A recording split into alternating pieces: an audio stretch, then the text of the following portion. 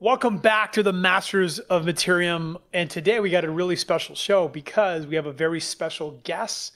He's been one of my favorite content creators even before he joined Mom. And I'm talking about Jake the Hammer Hammond. Jake, welcome to the Masters of Materium podcast. I appreciate that. Yeah, I was super stoked when you guys asked me to hop on here because this is going to be a super fun video. This hasn't been done yet, and I'm I'm very excited for it. So.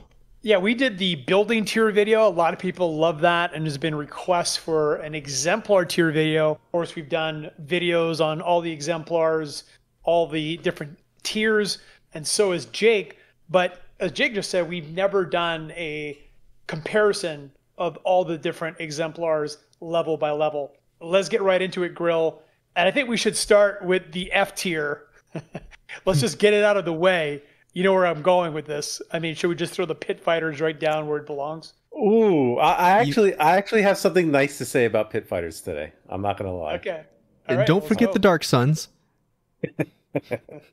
Thinking about the pit fighters, obviously they seem pretty bad on the surface, and I've uh, expressed that opinion a few times with a couple different rants you know, you go on OpenSea. How much is a pit Pitfighter now? Thirty bucks, forty bucks? I don't even know. I haven't been keeping close check on it, but for an entry to a free to play game where most AAA games are, you know, 50, 60, 70 bucks now, uh, and early access is sometimes as much as 100. I, I think that's not a bad price. And of course, the other exemplars are cheap too. But I was also thinking the pit fighters could potentially be like the entryway into more of an adventuring class and they can go out and hunt. So I don't know if they're specifically only for PvP. We just know that they're unarmed, right? But what if unarmed includes something like a claw weapon or a fist type weapon like brass knuckles? And they can actually go out there and kill some stuff barehanded. Or, you know, maybe they have different classes, which is something that really hasn't been discussed too much even by the Mirandus team. You know, maybe they could be like a monk or a karate fighter or something. I still don't think that they're great, but I think they have potential to be a cheap entry point into something that a lot of people want to do, which is venturing out in the wild. You're making me bullish. Jake, do you think there's a, sh- a chance that pit fighters get a melee buff?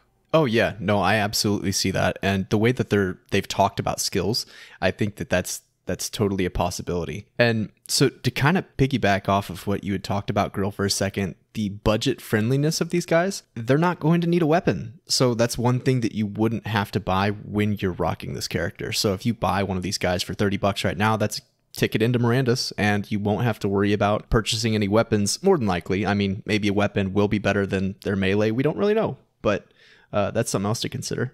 They could have good ROI, right? Right, exactly. Could be really cheap to run.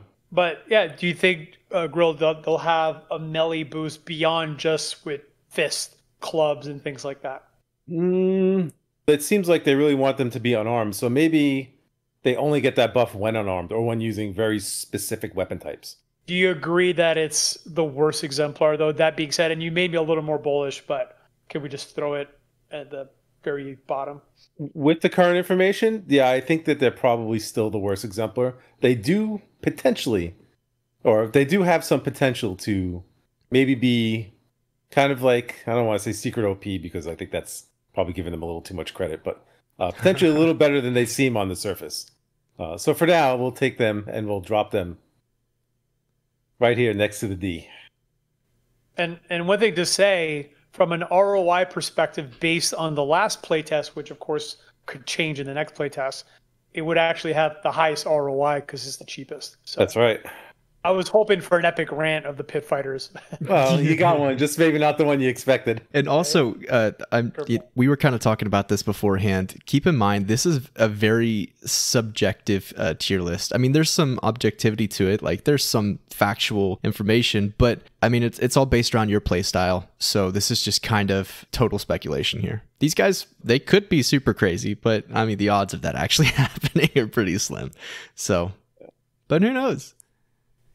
Two ways to basically look at exemplars. One is fun.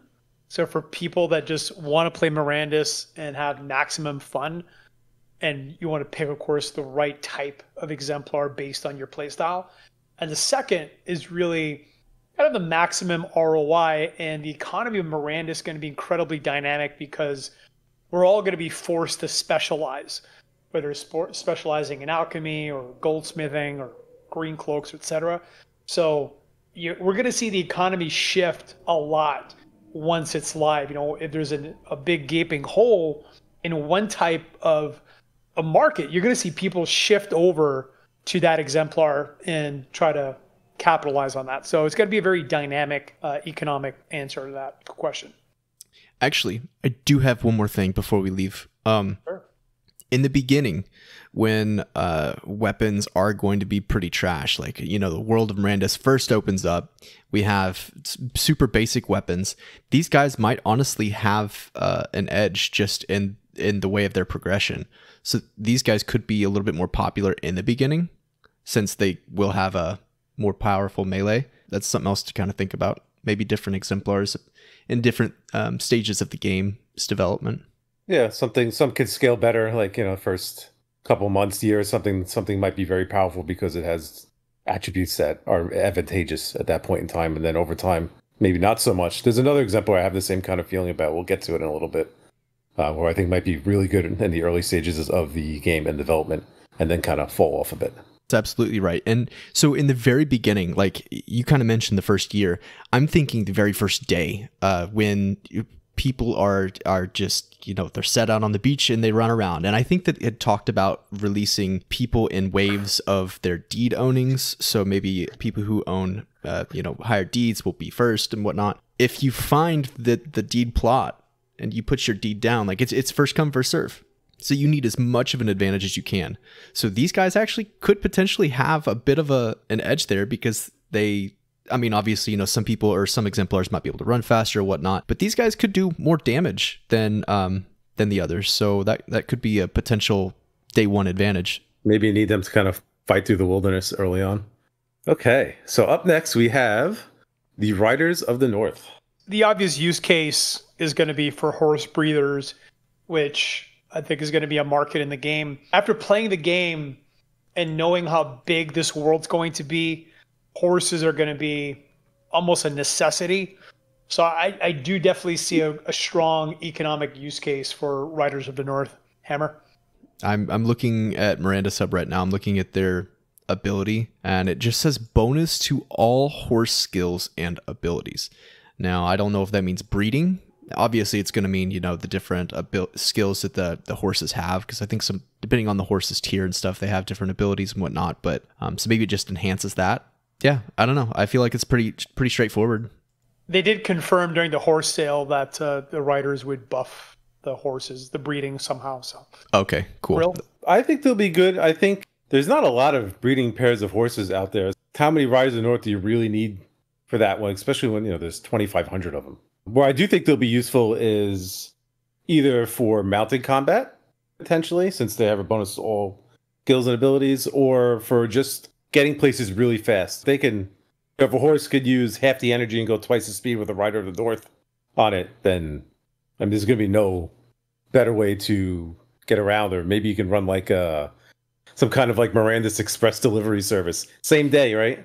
Some white glove service. So yeah, I think they'll be pretty good. I don't think they're going to be exceptionally powerful. I think if like all the horses sold, I'd probably place them a little higher. But with so few breeding pairs, I think that's limiting their utility uh, slightly. yeah, again, if we're looking at supply and demand, there's definitely most likely more supply than demand. So, Grill D tier. Maybe like bottom C tier. We could shift some stuff around if we feel differently once we put some more stuff in there. But I think just the ability to get around really quickly or be strong in- in mounted combat, depending on how prevalent mounted combat is within uh, Mirandus, that they might deserve to be a little higher up. I would say like low C, high D. Yeah, that that's hard. Um, I would kind of agree with that, like low C, high D. I was kind of thinking D, but I could also see these guys being a C because if someone really went deep into the uh, into horse breeding, like, this guy could could have a really good ROI. Like he he might be necessary for that. So I've been outvoted. So you guys both said high D tier.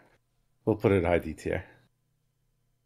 All right. above Next Pit up on the above everything's above Pitfighter here. Pitfighter will put like over here. Nah. Um. Oh, they got reversed. There we go. Okay. Up next we have the Alchemist. I think it's one of the strongest humans. I think it's potion making is going to be an incredibly high demand. It's a consumable. I think most serious adventurers are going to want potions. Definitely, it's the one human I feel like pushing to almost B tier. Definitely high C tier. That's where I would put it. Hammer. Yeah, I would definitely agree with that. This is going to be one of the if we're talking ROI, this is probably going to be one of the best humans, just because, as you mentioned, potions are consumables.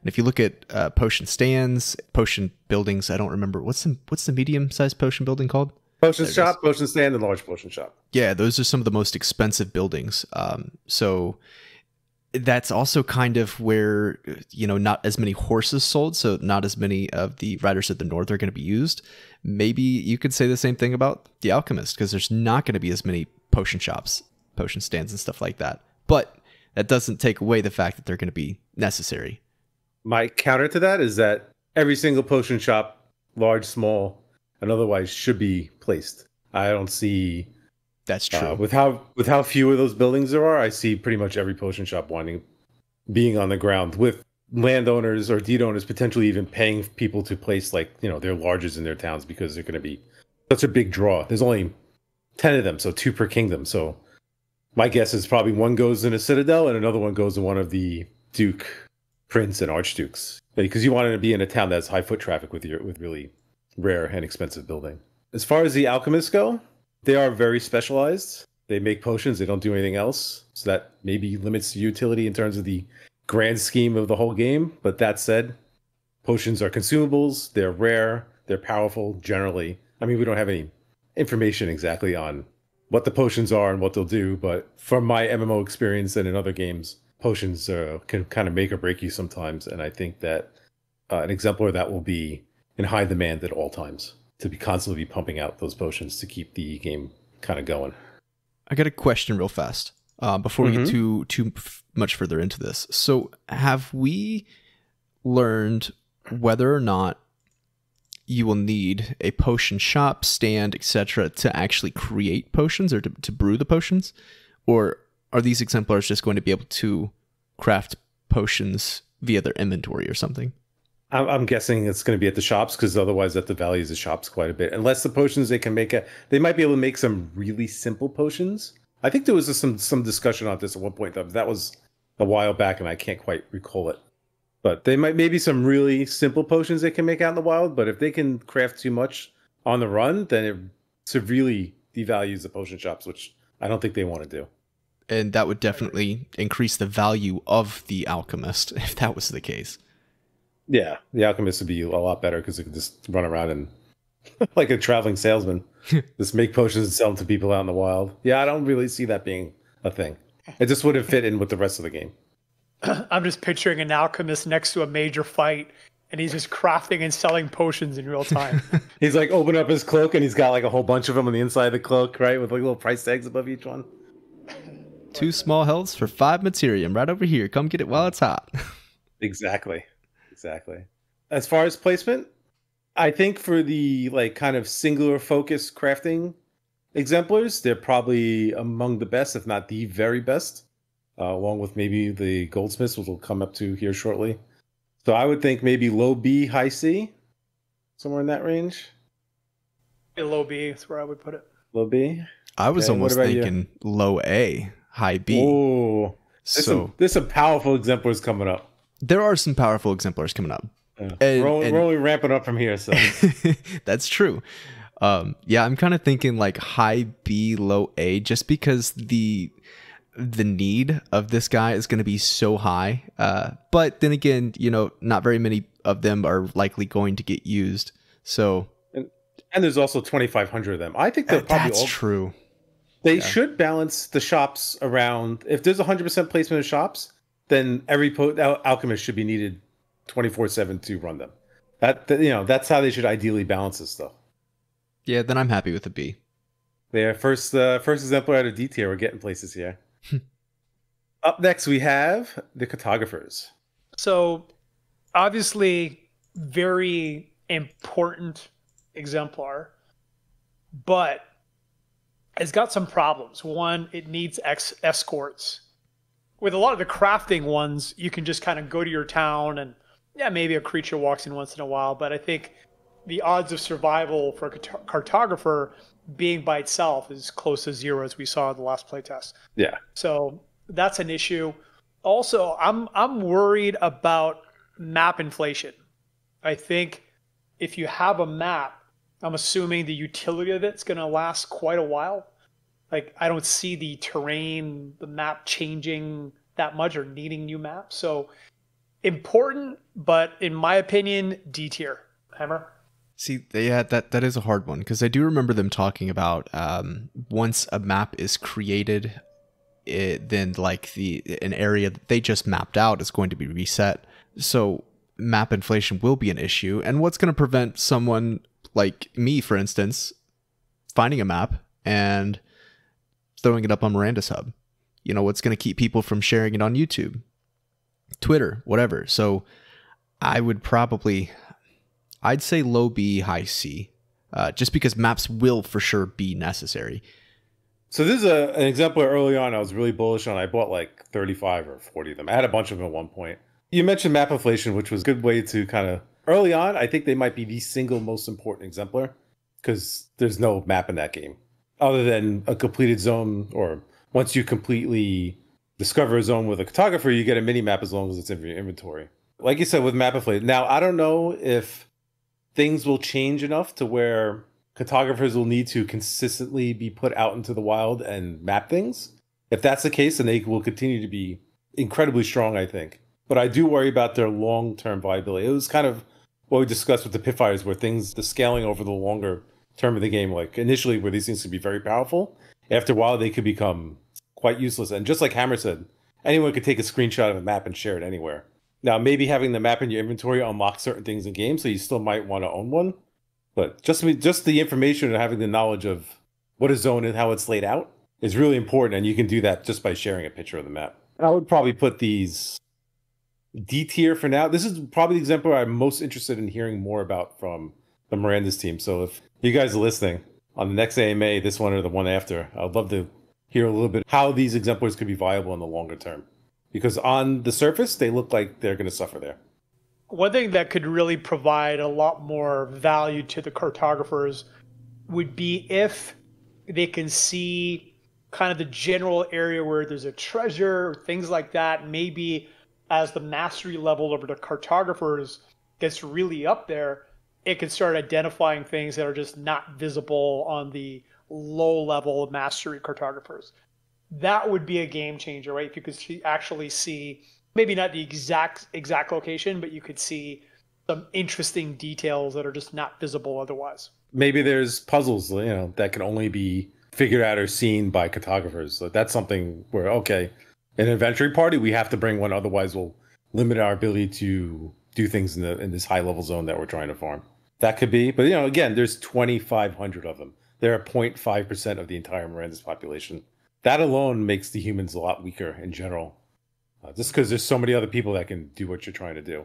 There's gonna be a lot of competition, especially if things are limited in any way, shape, or form. I, I think D for now with potential to be like quite high if some of the information revealed about these in the longer term. It also um, completely depends on the time of the game, kind of like what you talked about, and what we talked about with the um, with the alchemists, or sorry, not the alchemist, with the the pit fighters in the very beginning of the game, the release month two, six, I don't know. They could be as high as a B tier. I mean, they they could be up there, but once more and more maps are created, then it's it's definitely going to fight that map inflation. So I would agree with the D for sure.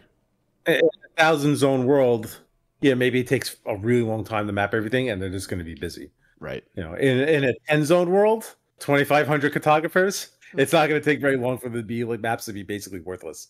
But that kind of goes for everything, right? I mean, fifty thousand exemplars in a ten zone world is going to be quite crowded. Kind of a probably a general thing about the whole game early on, at least. Up next, we have the goldsmiths. Definitely another alchemist level exemplar.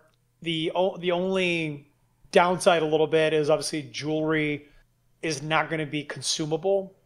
So I, I don't think they're going to be as valuable as an alchemist, but incredibly valuable.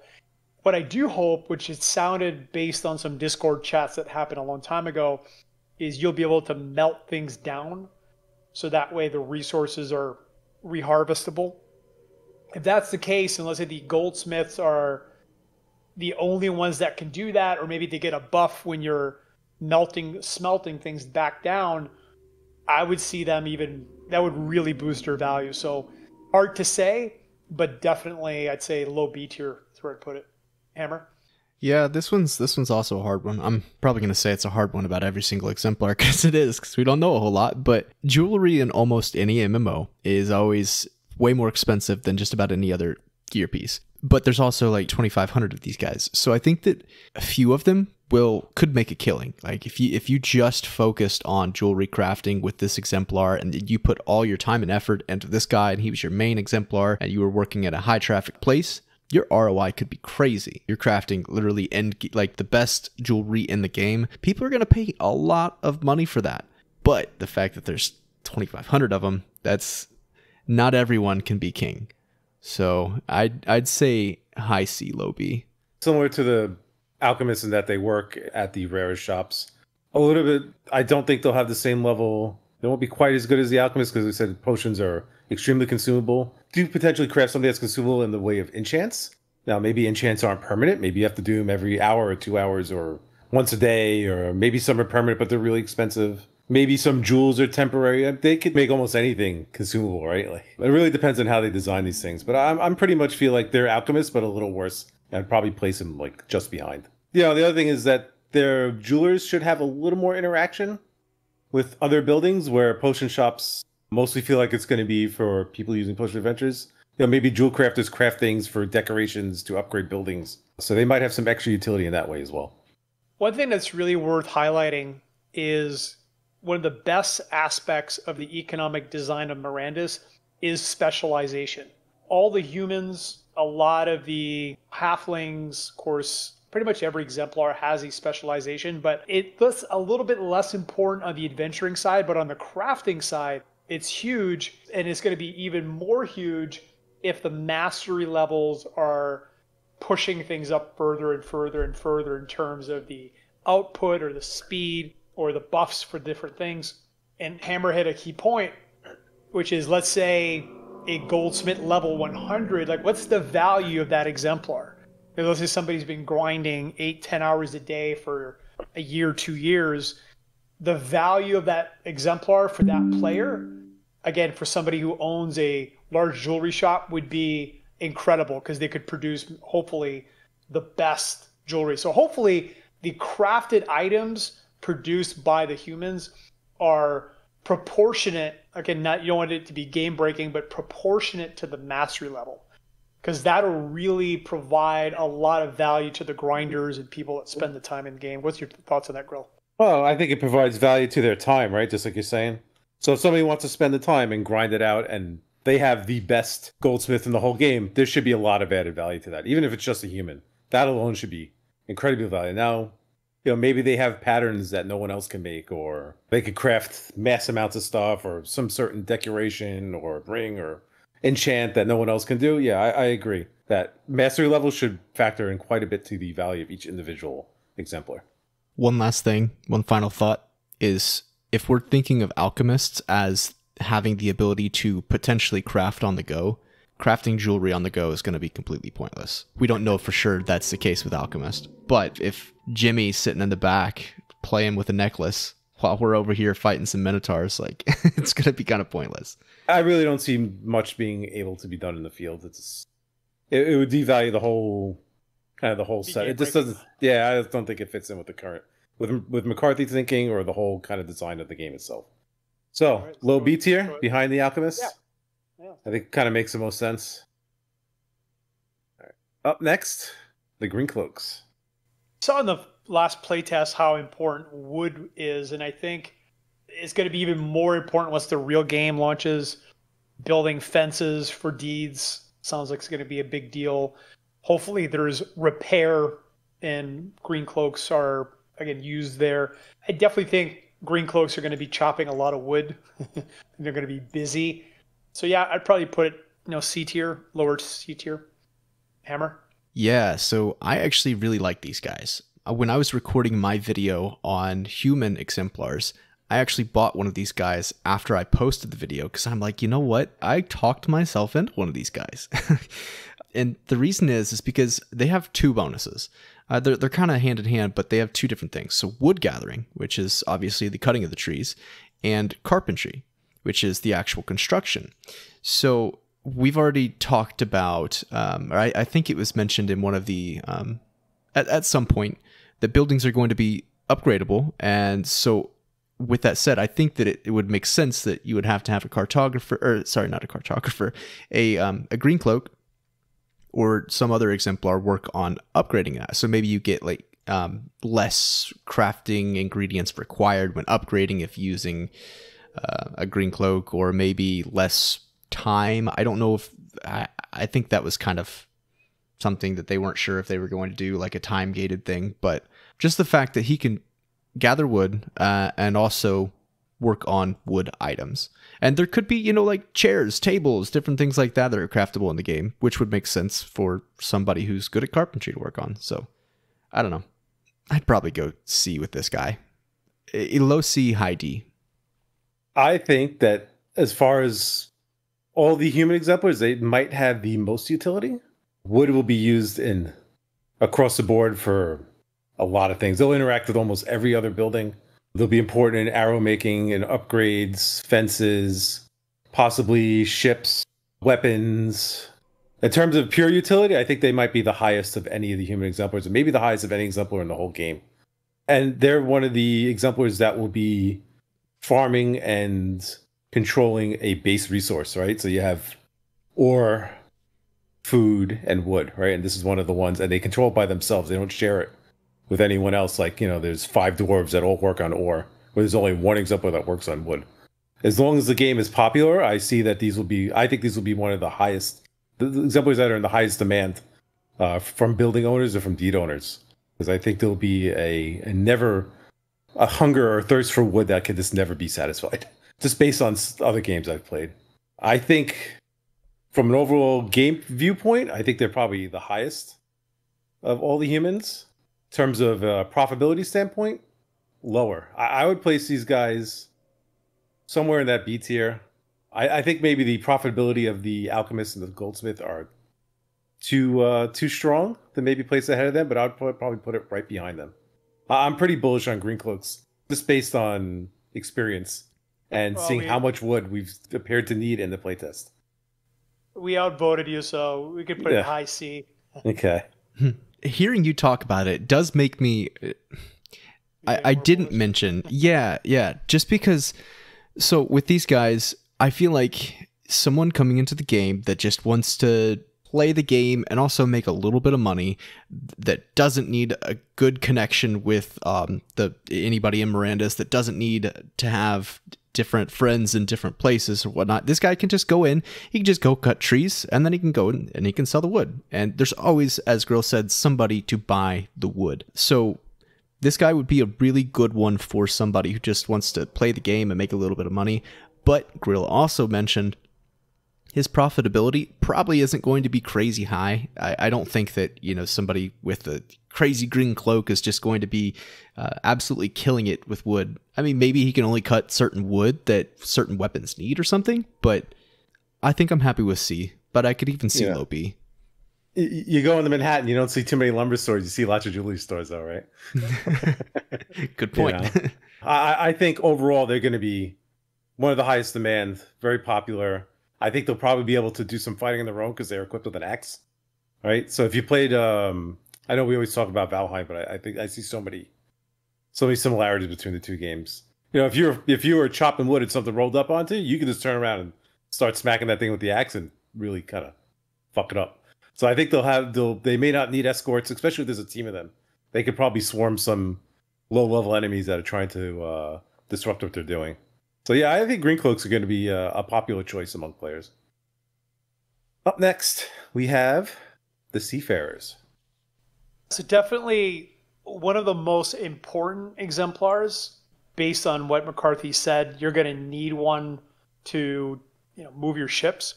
There's going to be 1370 ships in game, circulating supplies, 1,081. So, yeah, I think seafarers are going to be very busy. I I think moving stuff around, going to islands is going to be a huge part of the game. So, yeah, to me, uh, high C or low B, I, I think it's a it's just one of these critical exemplars you can't really work your way around. Hammer.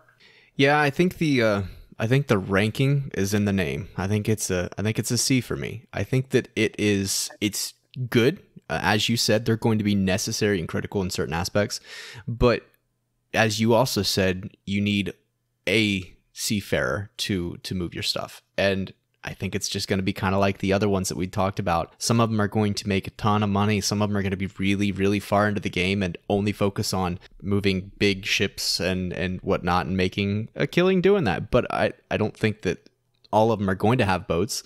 I, I could almost see it being a, a high D because not everyone's going to have a boat.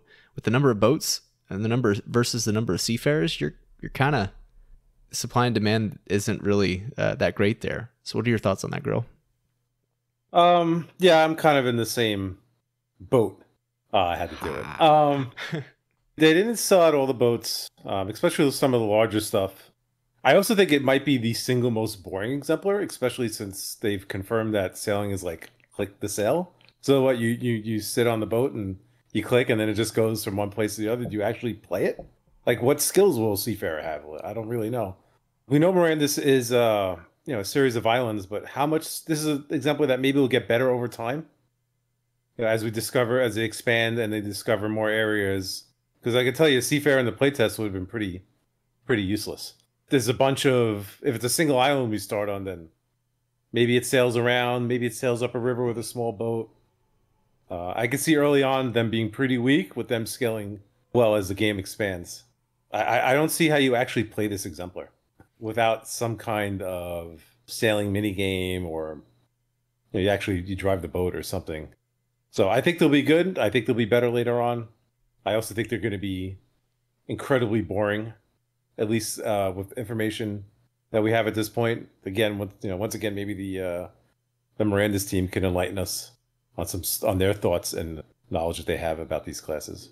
So I've actually put a little bit of thought into these guys because, for instance, RuneScape, it's been around forever, and it they're just now starting to work on sea explore, uh, sea exploration within the game. So like you'll be able to actually move around the boat. I think I don't know, but I know that that game's been around for forever, and they've done tons of updates, and it's just now coming to the game. So I don't think, and I know that actually McCarthy's confirmed that we're not going to be able to drive the boats around in Mirandus. that's going to be way too heavy of a mechanic and whatnot. I could see this being more of a, a gambling situation.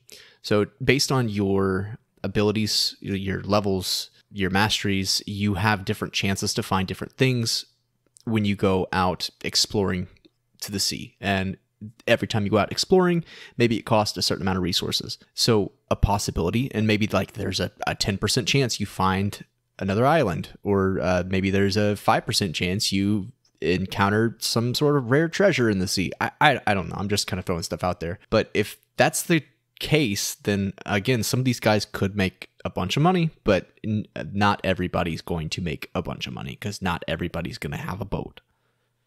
It almost feels like staking with them. You stick them on a boat and make some passive income, and that's it. That would actually boost their value, right? If it's a low time exemplar where you can just kind of stake it in a ship and yeah, it'd be, it'd be good. So I, I would put them high D tier. I'm happy with that. Okay, I think they're probably around the same level as the cartographer. I think uh, better, but yeah. Yeah, a little better because I think they scale better into as the game gets bigger, where the cartographers do the opposite. All right, up next we have the jack of all trades, the strong hands. The exemplar with the most utility, arguably. Yeah, I, I think it's going to be one of the hottest. I mean, it can kind of do everything. Uh, again, not as specialized as some of the ex- other exemplars, but somebody wants to kind of just do a variety of things. Probably the best exemplar, you know, in terms of crafting. So, yeah, I would probably put it uh, high C. Hammer. I can see that. Um, these guys are just the handyman of Mirandus, essentially. They're uh, expediency trait is just bonus to all crafting. That's what it says. So I think these pretty straightforward. Now, what's actually maybe not so much. So what is what is crafting? How is that different from maybe going to an anvil and, and doing that, or uh, how is that different from like a green cloak? What's what's crafting? Well, my guess would be it can do everything, but their buffs are not going to be as significant as a goldsmith for jewelry or a true provide. I don't know. I mean, what's your opinion, Grill? Jack of all trades, master of none. Um, like you said, very high utility as they can fill in holes uh, in any building. Uh, there's also a few buildings that don't have specific exemplars, such as Stonecraft. So they will be the main crafter for those buildings as well. I think they'll probably be running like the Green Cloaks 24 7 in high demand, simply for the reason that, oh, you know, we're short here. We don't have this exemplar. Send the strong hand and get some kind of bonus, right? Mm-hmm. So, yeah, I think they're pretty good. Uh, I do generally like specialists. I think specialists are always better than generalists. Uh, for that reason, that they're a little weaker than all the other crafting classes. I do think they'll be in quite high demand come game time, especially when the, the game is really pumping. So I, I would put these like behind the green cloaks. I'd put them as probably like the worst like crafting focus exemplar. Simply because specialists just tend to be better. I would agree with that. I'd say I'd put them yeah. at C. Okay. All right. Up next, the Weavers. Well, I'm going to cue you up, Grill, because again, you and Alum have schooled me on the value of cloth in MMORPGs. So why don't you school the listeners on how bullish you guys are on cloth.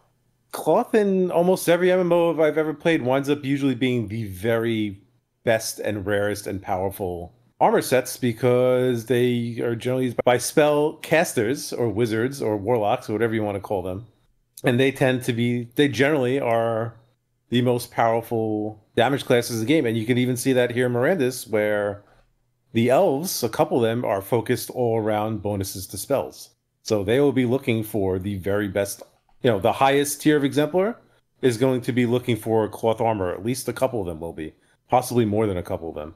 There's also cloth can be used across, kind of like wood, where it's going to be used probably in almost almost every single building in terms of upgrades or components for other recipes. You know, just because maybe something's got leather armor or mail or plate armor, well, there might be a cloth component to that, so they'll be used for that as well.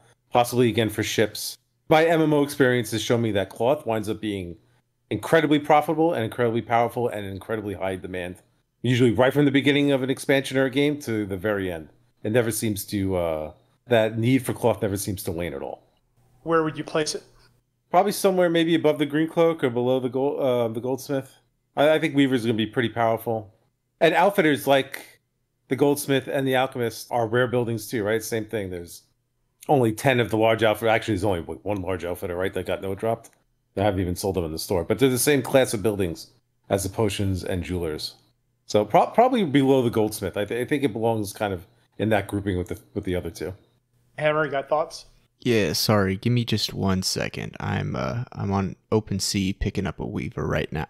no, no, uh, that was that was a very good speech on why um, Weavers are undervalued because you had very good points. I see what virtual meant because you're right in Elder Scrolls Online, which is a game that I played quite a bit of. It's it's another MMO. The most expensive gear was often the spellcaster gear, which was the light armor. And it was expensive because it, it, had magical abilities to it, increased your damage, yada, yada, yada. And I think that a lot of people coming into MMOs in general, just everybody wants to be a DPS, everyone wants to do damage. So that's probably going to be the most common armor type. Yeah, no, I could totally see these guys being a very good exemplar to have. Even beyond spellcrafter, let's say example that's coming up next with the true providers, you know, maybe they wear cloth. That would make sense, right? You know, I don't see somebody tilling the fields in a full set of plate armor. They can make clothing for crafting exemplars that provides bonuses to crafting or farming or potion making or whatever else. So it doesn't necessarily have to be spellcaster gear that they're making. It could also be enhanced gear for other exemplars as well that are not out adventuring. Wow. Yeah. Um, I feel like I'm kind of on too much of a hype train right now. I, I want to say B because I'm on the hype train, but I, I, I think realistically, it's probably a C right beside Green Cloak either way, in, in my opinion. Virtual, what are your thoughts? Cool either way. I'm cool with either high C or lower B. So, uh, Grill, you you you're the final call. Uh, I'm gonna put him with the other one. This makes sense because these are the three exemplars that work at the rare buildings, and Weaver wow. could even potentially be higher than honestly than Goldsmith. Honestly, I would actually put it here.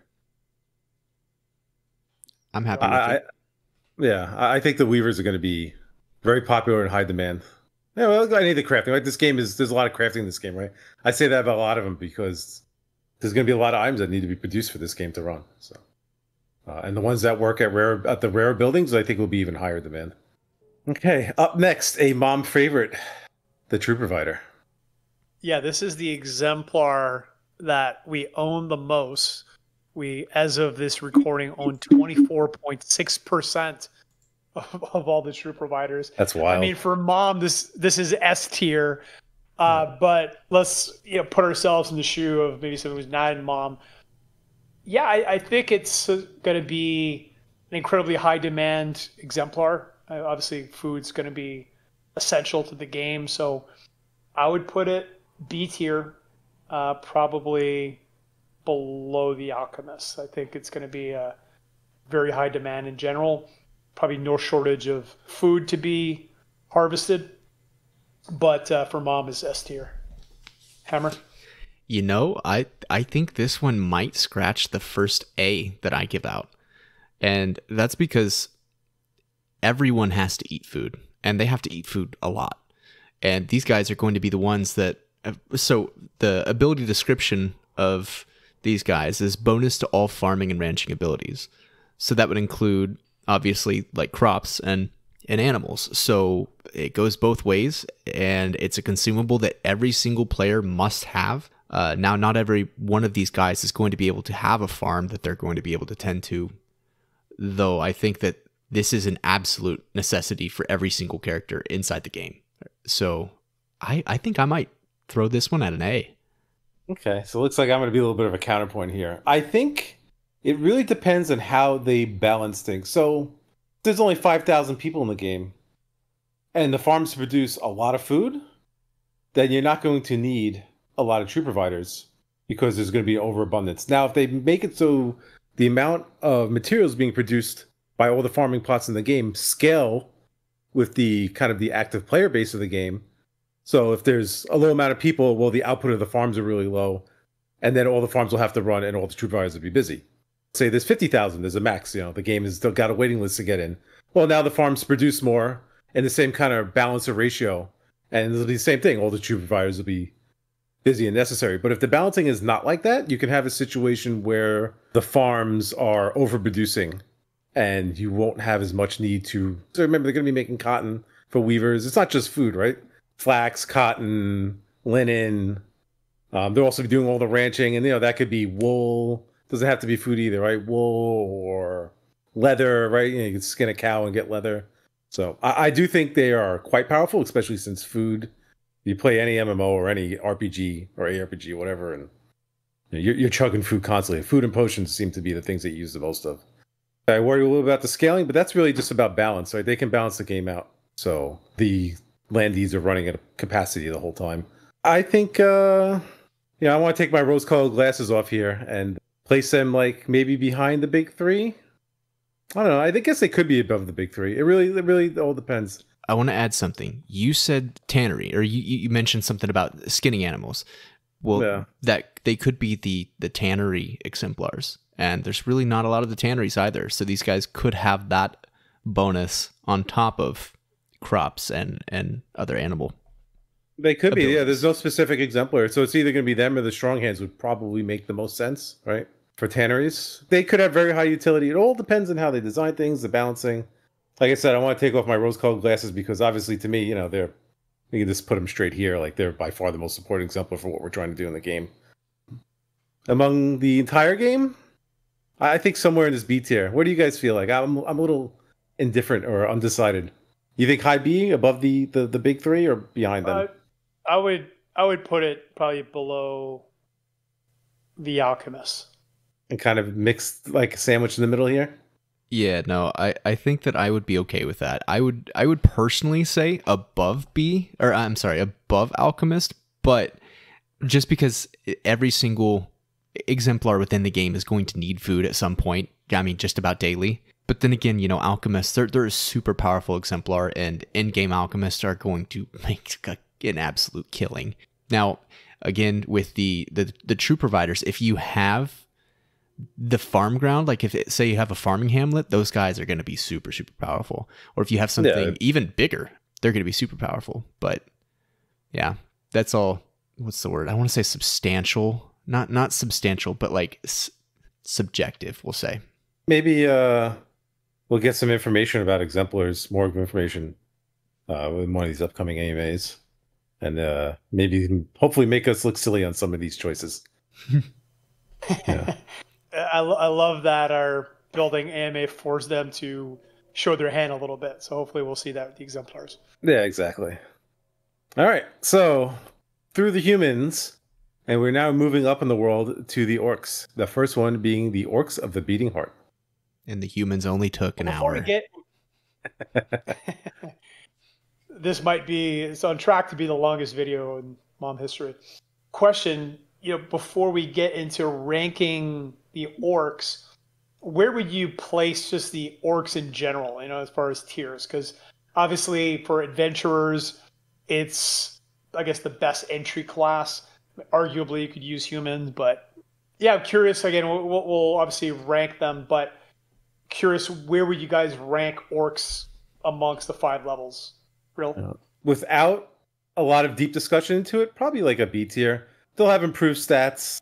They'll be capable of going out in the wild, and that alone has some value just because that is a lot of people's preferred playstyle. Not everyone wants to sit in town there and grow corn all day or chop wood or make arrows or something like that. It's just people want to go out there and, and kill stuff, right?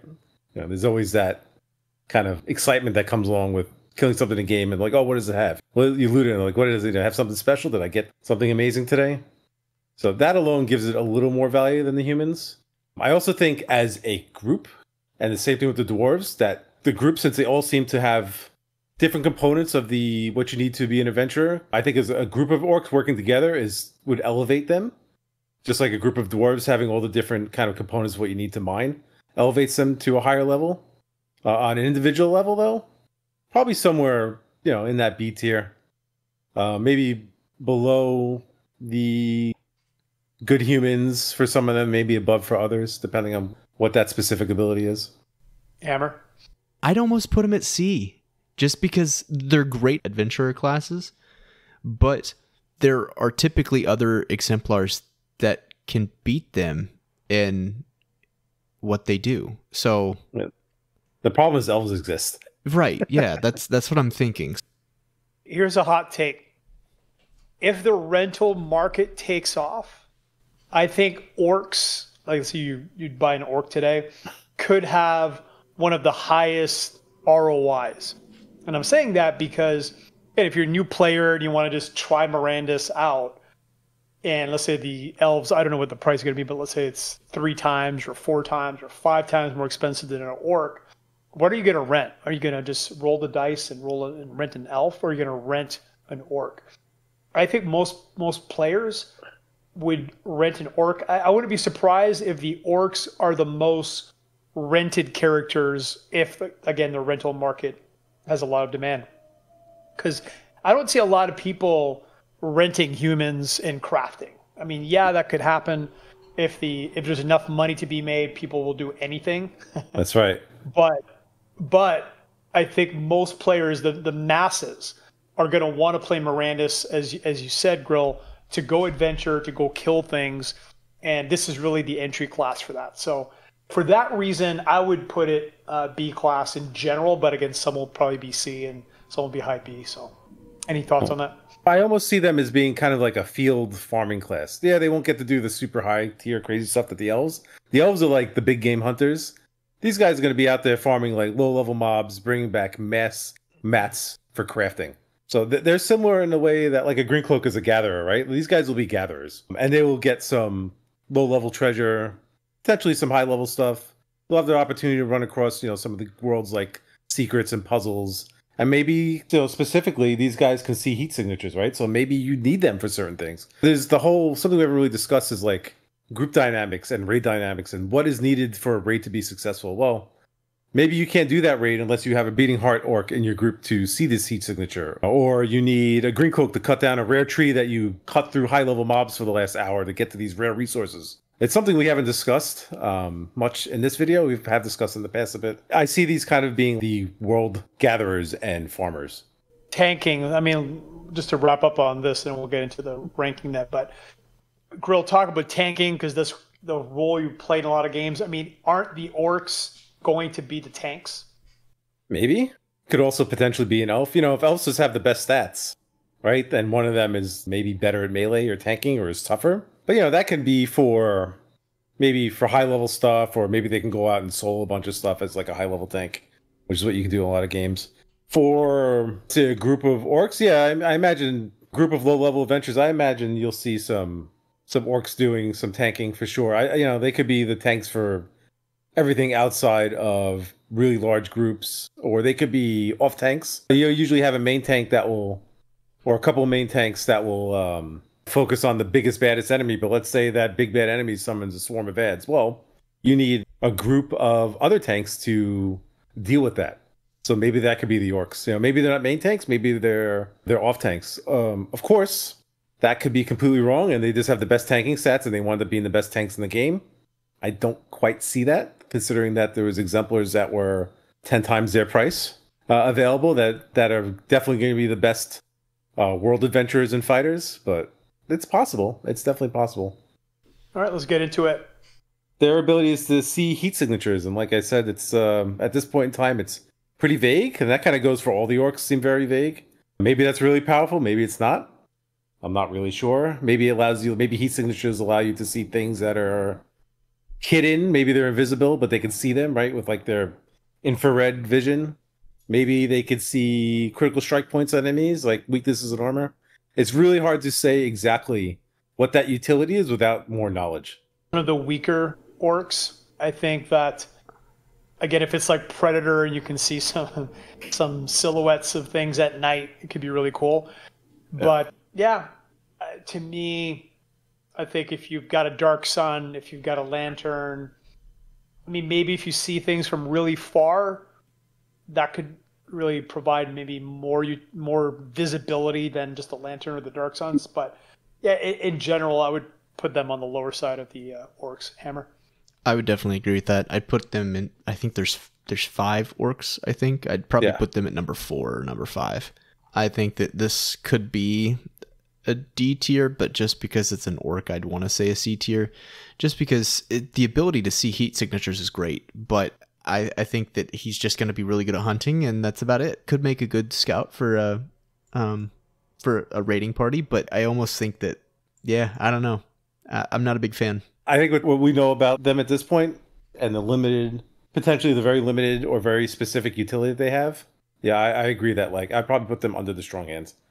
I'm good with that. Yep. Okay. Okay. Up next, we have the Bone Orcs. I think it's arguable and we can debate it, but I would say either the bone orcs or orcs of the long hunt are the top tier. I mean, if we're talking about tanking, I mean their special specialty is proved mending, faster healing, uh, almost immune to bleeding. So they're probably going to be one of the toughest orcs. So I, I would definitely put it to B tier. Hammer. Yep, I would completely agree. I think this is orc number one, and I think that this one has a potential to be an A or potentially S tier, in my opinion. Because if elves, if elves are not good tanks, this is going to be the the tank for the game. Um, you know, there's a potential for the bright sun elf to be a tank, but we don't really we don't really know about that. Uh, this guy, his ability uh, improved mending. It gives faster healing and almost immune to bleeding. I think that this guy is. I'd give him an A just because I, I think that he could be the best tank in the game. As you kind of talked about, it's it, we don't really know what's going on yet, but yeah, that's where I'd throw him. They're also immune to bleeding, which we don't know how prevalent that'll be in game two, or almost immune. Yeah, they have the clearest utility of all the orcs. Uh, other than the, the clear blood, which is you know it's good with poison. I don't know if you get any clearer than that. We don't know how prevalent poison will be, but um, yeah, they're the most straightforward. They have the clearest amount of utility. It's kind of a little easier to extrapolate what they're going to be in game. I it's definitely they definitely feel like this is going to be the tank class of the lower tier characters. Yeah, I would put them probably top of the B tier with what's currently there. Probably the highest ranked thing we've run across so far. I'm co- I'm good with that. Yep. Okay. Sounds good to me. Yeah, I don't think I think A tier is in reserve for. I think these A and S tiers are going to be reserved for things that are like really special. Special. This is you know there's two thousand orcs right of each type, so this, this is still a little too common for me to really put them up in those top two tiers. There's 2,000 of each? Dang, okay. There's twenty five hundred of each human. I think there's two thousand of each orc, a thousand of each uh, halfling, and two hundred of each elf. If I if I remember correctly. Yeah, Anyway, there's 800 of each halfling and Okay. 200, 200 of each elf. Yeah. corrected. All right. Well, up next we have the clear blood. The hammer will kick us off here. So, okay, you guys are, you know quite a bit more than I do as far as we could say the politics of um, wallets go. But this one, I believe, Benefactor owns the most of. Is that correct? He bought like a hundred of them, and cleared out the like a whole tier, or the last of a tier, um, which Yeah. might have been the final tier. Yeah, he, he he picked up a whole bunch of those. And see, that's so interesting to me because this one sounds lame. I mean, it's it's cool in the sense that I mean you're immune to poisons, but that's so specific. Yeah, it's really specific. There's so many monsters you could fight that just don't have poison. So I would think to put this one D tier, but the fact that Benefactor bought so many of them is is really interesting to me. So I want to hear what you guys have to say. I think it's one of these ex- exemplars that's S tier in poisonous situations and D tier the rest of the time. I think for players that want to buy, let's say, multiple exemplars, I think owning one's a smart move. And then you pull it out when you're going to poisonous areas. Because if they make poison really poisonous, it might literally be the only exemplar that can go into certain areas, and those areas might be really valuable. So, again, it's going to be S or D depending on what situation you're in. Go ahead, Grill. We know that the bone orcs are nearly immune to bleeding, and these guys are nearly immune to poison. And I'm pretty sure there's going to be some kind of elemental debuffs, you know, like a fire dot or maybe some kind of freeze debuff that slows you. So if there's only a certain amount of debuffs and a lot of enemies apply poison, and it's very prevalent, then these these exemplars start to become quite strong. They could also be a tanking class for say 25% of the mobs in the game apply poison. Well, all of a sudden these guys become incredibly useful. So it's really based on game design. At the moment, without any other game knowledge, they seem incredibly weak, but they could easily be be quite strong. Every bit as good as the bone orc. If the bone orc is the bleed tank, maybe these guys are the poison tank. So it's it's hard to say. The only thing is the bone orcs heal and these don't, but maybe they can have an ability. It's like for every stack of poison, they heal X amount. So not only are they negating the poison, but now the poison actually becomes like a healing buff to them. This is kind of something I was thinking about. A little interesting, maybe piece of game design or something, combat. So yeah, I, I would put them probably in C tier. I would put them above the beating heart for now. Mm-hmm. This could easily move quite far up the list depending on further information releases. I'm good with that. My last comment is I mean, from a game design perspective, if you're listening, Jason and Michael, creating areas that essentially creates the need for things like clear bloods to be the only viable option really makes the game interesting, creates a lot of utility. A team would have to bring a clear blood to, let's say, get push into a poisonous swamp or whatever. So I really hope from a game design perspective that they do that. Yeah, one last thing. So I just wanted to remind everybody that uh, again, healing in game, it, well, from the playtest was by eating food, or no, I'm sorry, it was it was sleeping at a tent, and so the faster healing is a that is a little bit confusing, right? Because faster healing, you would typically in games, you know, you heal over time, but in Mirandus, it doesn't seem like that's going to be a thing. Am I am I missing something actually? it's all about the bone orcs? Yeah, sorry, I'm going back to the bone orcs for a second, and I was going to tie that to the clear Oh, board. it says click to heal and almost entirely immune to bleeding. Yeah, I'm not sure exactly how it'll work. Maybe they just receive more healing from healing spells. That's how they make it quote unquote quick. So yeah, it's hard to say. Gotcha. Well, and the reason I brought that up is because you mentioned the clear bloods could be the the tank for um for poison, Poison. dots and and then the bone orc is for bleeding. So maybe that's the case and maybe actually I overvalued the bone orcs because the healing it's in the playtest anyway was only done via sleeping. So um, Yeah. yeah. just kind of interesting. That's a good point. The playtest was very the playtest is very limited in terms of mechanics too, right? I mean, That's you weren't true. sleeping in that; you were clicking on that tent, and usually quite often. Good point. Yeah. Well, one one more potential strong use case for the clear bloods is going to be if there's a lot of poisonous creatures. So again, there, there could Yeah. be certain creatures that your only shot at not getting destroyed is clear bloods. So Yeah, exactly. So depending on what you know how they design the game, they could be bottom of the D tier to all the way up in S tier or A tier someplace, in my opinion. But for now, with what the knowledge we currently have, I, I think they basically belong like like right here. dig it. yep. I like it. Yeah. The Orc of Certainty is up next. I think this is probably the worst. I, I mean, to me, it's worse than the beating heart.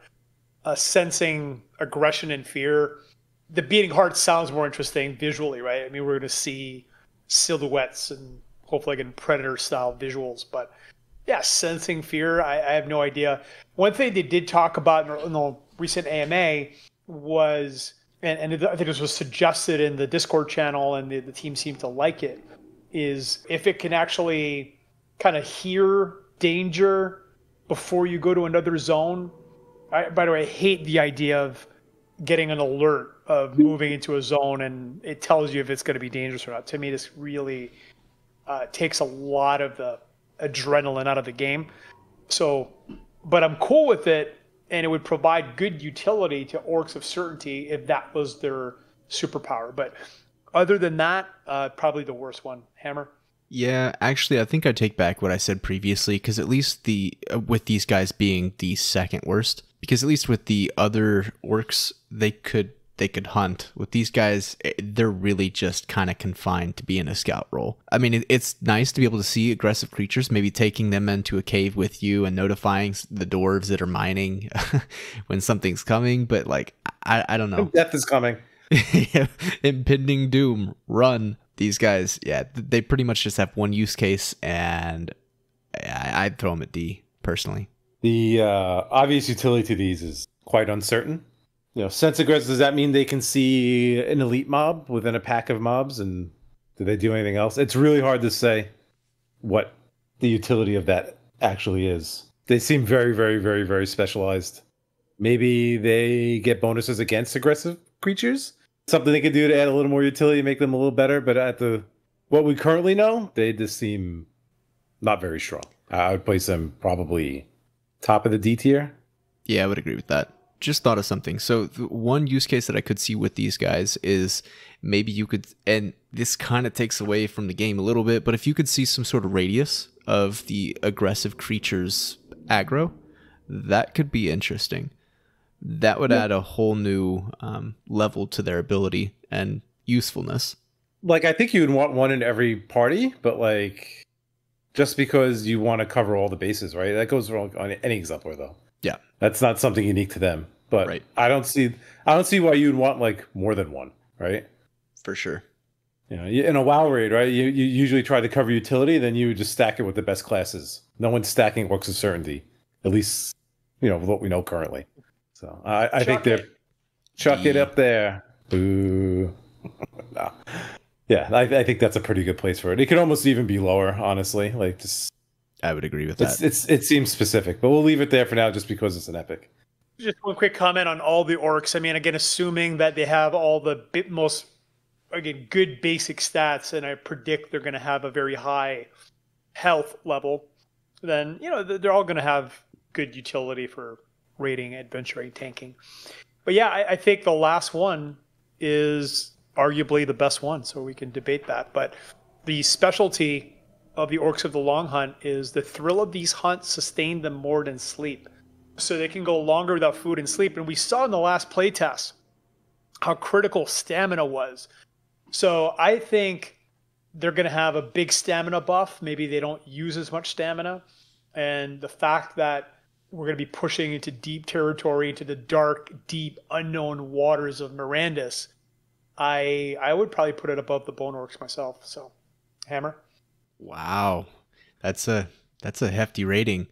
This was actually fun fact. This was my very first Mirandus um, buy ever and that's because I watched a video uh, by somebody else, and I can't remember who it was at this time. Uh, but they were talking about how this was one of the most underrated exemplars, and I was like, "Yeah, you know what? You're right. It, that is a good exemplar." And they really are. The fact that they can go longer without food or sleep is is a huge deal because that means less money spent on food, and potentially less money spent sleeping as well. So they're going to be potentially more um, economically friendly to a certain degree. Maybe not a ton. I think that the the most benefit you kind of hit on the head would be just them being able to be out longer and um, maybe go a little bit deeper than most other exemplars could. As uh, as farmers and food producers, hopefully no one plays them. Yeah, nobody I buy think, these. Uh, F Yeah, exactly. Worse, they're not even they're not even gonna get placed. I'm just gonna leave them in the bottom. I agree. I think they're, you know, I, I think it comes a lot down to the how clear and obvious the utility is. Where it's a lot clearer with these. Okay, they can go out and they can hunt longer and they'll be cheaper to run, so they could have better ROI potentially than the other orcs. And that alone is going to make us place them higher now. Will they have improved combat stats too? I'm not sure. But on paper, they seem like the strongest of the orcs for generally the thing that people want to do with the orcs, which is go out and kill things. I, I think I put these above the bone orc as well. I don't think they're quite A tier, but I think they'll be the ones that'll be. The, I think they'll be the most popular outside of the whatever one winds up being the best tank because people like the tank too. I think I'm happy with that. And as Virtual mentioned, uh, these guys being super rentable, this guy would make a ton of sense. Yep, they're going to be probably the most desirable to go out with of the orcs, and they'll be the cheapest to run. I think that's a clear win right there. All right, we are done with the orcs. We are now moving on to their shorter purple brothers, the dwarves. This is the mining class, and the first one is the iron shapers, and I'm going to come right out of the gate. I'm coming in hot, and I'm going to say this is the first A tier exemplar. I think that obviously weapon crafting is going to be one of the most in demand utilities. I think everybody's going to want weapons, and if they, if there's, again, mastery has to matter. So if mastery levels influence the level of the weapons, you could see people just crafting weapons like crazy so that they become the best iron shapers in Mirandus. Um, so yeah, that's my take. Hammer. Yeah, I'd say either. I, would say probably upper B for me, uh, because these guys you could make the same argument for um, some of the. Well, I don't know. I could I could see him being a low A because you could make the same argument for the big three human exemplars, but there's there's less of this guy than there are the human exemplars. Um, everyone, well, 99% of us are going to be using a weapon. Um, so I think that these guys will be in need. Um, one thing that I am a little bit concerned about is weapon inflation, and that's a whole other conversation uh, that could potentially have its own video. But uh, yeah, what are your what are your thoughts on them crafting too many weapons? Not going to be an issue if you can smelt down right. the weapons. Yes. And and it, you know really the thing they have to manage is resource inflation. So is yeah. iron everywhere? Is iron infinite? Then we're going to have major problems. If iron is rare, if it takes a lot of time to, to harvest and bring to the towns, then they can control that. So go ahead, Grill. If you can smelt things down and just get iron back, then that that would be, I think, a bigger issue than the actual item inflation. These guys are going to be running the forges. They're going to be crafting all the metal items in the game. Uh, I think that alone pretty much puts them at A tier. I can't see a scenario where they're not uh, at max demand, and when the game is uh, you know got a large player base, uh, and they'll be crafting some of the top weapons and armor in the game, and not just weapons and armor. They'll be making tools, stuff for buildings. Again, they're going to interact with the buildings with the stuff they're crafting. Yeah, I, I think this is the uh, the absolute best of all the crafting uh, exemplars in the game. Where would you put it? I would put it probably bottom of the A tier. I think this is probably going to be the worst A tier exemplar. I'm happy but with it. I also don't think there's going to be a lot of exemplars up in A and S tier, but yeah, I think the the probably the best dwarf. This might be some arguments for a couple others. The dwarves, the, the dwarves have nice utility, and they're also you know they control a base resource in ore, in in general, and people seem to really like them. People are all like hyped up about mining. There's like mining guilds. We have groups of a group of people within Mom that are all trying to organize things for mining and stuff like that. So people seem to be pretty hyped about mining. And if there's already a, a few people, that means as the game grows, there'll be more and more people interested too. The, the, the interest should scale up with the player base. Okay, up next we have the Mirandus Pack Mule, the conveyors. think it's arguably the worst dwarf. I don't see a lot of value to carrying extra weight. Maybe. I mean, I guess you're going to save time. Depends how deep the caves are. Like if if you have to walk a lot and you can't bring the horse in, then it would have more utility. If you can bring your horse in, they have essentially zero utility. And if the caves aren't that deep, then their utility is really minimal. So, anyways, I, I I'd probably put it C tier, low B. I mean, just depends where mining falls, but uh, yeah, probably the worst one in my opinion. Hammer. Okay, I'm gonna come at you here. So in uh, I'm gonna use RuneScape as an example. So when I first started playing RuneScape, I was looking for a way to make as much money as I could with my amount of time that I had to play the game, and I also didn't have a very high level character. And one of the, if not the best ways to make money in RuneScape as a new player is to be something called a runner. And a runner is essentially somebody who goes from point A to point B, point A being a player who hires you to run materials that they're harvesting to point B. And those people actually make quite a bit of money because the the people who hire them are working on um, skilling, working up working on leveling up their skills. In this case, it could be masteries. You know, maybe this there's a dwarf out there mining a bunch of gems, and he it's more profitable for him to stay at point A than run all the way to point B, then back to point A. So I could see these guys actually being really useful in that scenario and and potentially making a good amount of money from that because this was i mean if we're talking of course this is runescape and this is a whole different game but in in a lot of mmos these guys can make two to three times what somebody just going around and and killing bosses is at, at least for a low level player anyway. I'm gonna be uh with hammer on this one. In general in any game that's limited with inventory and carrying weight things that can improve that wind up being immensely strong like incredibly incredibly powerful there's a lot of places that you're not going to be able to bring horses or carts, and maybe the horses can't carry that much. I know when we're playing Valheim, there were we would spend hours literally going from point A to point B, just hauling stuff, and we couldn't bring a cart uh, or a boat or anything else close by. So we would just have to literally just run it.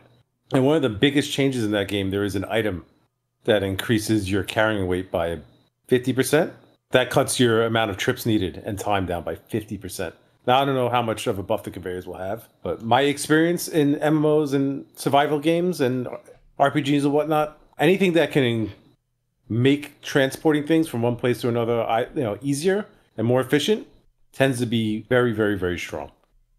Uh, my, my personal opinion, I'd probably put them top of the B tier for the conveyors. I, I think they're going to be like one of the most in demand exemplars in the whole game. Even when you're not out in the field, like let's say you're in town and you need to carry, you know, these towns are big, right? You need to carry a whole bunch of stuff from one side of the town to the other. You might even use a conveyor for something like that if they're in town. I think all the dwarves are B tier, so I'm good with that. Okay. I could see Hammer, you guy- good? Yep, I, I'm totally cool with that. I could see this guy Yeah. walking around with just an inventory full of stuff, yelling in the chat like, "Come get your wares here!" Walking around as a Um, store himself, They they could be good mobile merchants. right? That's something we haven't discussed much either. Like you're gonna have all these stores, but what's stopping somebody from just rolling up in front of your shop and selling stuff, undercutting your store? Yeah, that's huge. Like, like a competitor, like from the next town over, Yep. sends uh sends some guy. Now I don't think it's the game. I think with how hard it is to get from place to place, it probably won't be cost effective to do that. But there's potential there. Maybe somebody like outside of like you know, in a homestead or an outpost or something, has like a crafting station and they're crafting stuff. It's going to be hard to compete. We're going to be getting so many materials. I, I just don't see how that happens. But you never know. Crazy things have happened, and there'll be some incredibly crazy stuff in this game. I think every scheme and wacky thing possible uh, in such a um, kind of an open playground as this. That's for sure. And before we leave this topic, I, I want to do it a little bit of justice, but I can't dive too deep into it because this would be a long conversation. But again, in another game that I played in um, Elder Scrolls Online, that's what I did all the time. I didn't sell goods at a shop because there that was taxed. Instead, I would just post in the, in the game chat and I would sell so much doing that. Now, of course, you know, there are some people that are really annoying with it, but you can also find like really good connections doing that. And I that's how I made all of my money. And I did really, really well in that game. Um, just by zone selling. But McCarthy doesn't seem to be too concerned about zone selling. So I'm I'm interested to see how that'll actually turn out. Uh, it, it, seems like McCarthy wants to s- some level of chaos and, and randomness, right? Right. Yeah. It seems it seems like he gets excited whenever he whenever he thinks about things getting like completely skewed in one direction or another. I, I think he wants to see players take the game to the extreme. Which which we will. if you're into extreme domination, join us. Uh, Beautiful. All right, plug. next one. All right, so next is the Glimmering Clan, which kind of these next three are very closely tied together, in my opinion, since they all are kind of the orcs or orcs, the dwarves that control the mining of ore. So let's read the description here, the because description has me asking a lot of questions, as most gala descriptions do. These dwarves can sense valuable ore and gems in what some would discard as rubble, and their ability is a bonus to mining output, which is a little bit contradictory. I mean, so the thing that's the most intriguing to me in that description is gems. Now, the question is can other dwarves find gems? I'm assuming they can. Can the Glimmering Clan find more gems? Can they find more valuable gems? And if they can, and again, we're really bullish on gems because we're assuming that gems can be enchanted, put into weapons, put into other things. They could be the most valuable dwarf other than the Iron Shaper. So they could be A tier, but again, we're in the dark because it just sounds like they're going to get a bonus to mining output. But definitely, I would put it the second highest dwarf, regardless, because even if it's just pure uh, mining output, the value of that's going to be incredible. Hammer.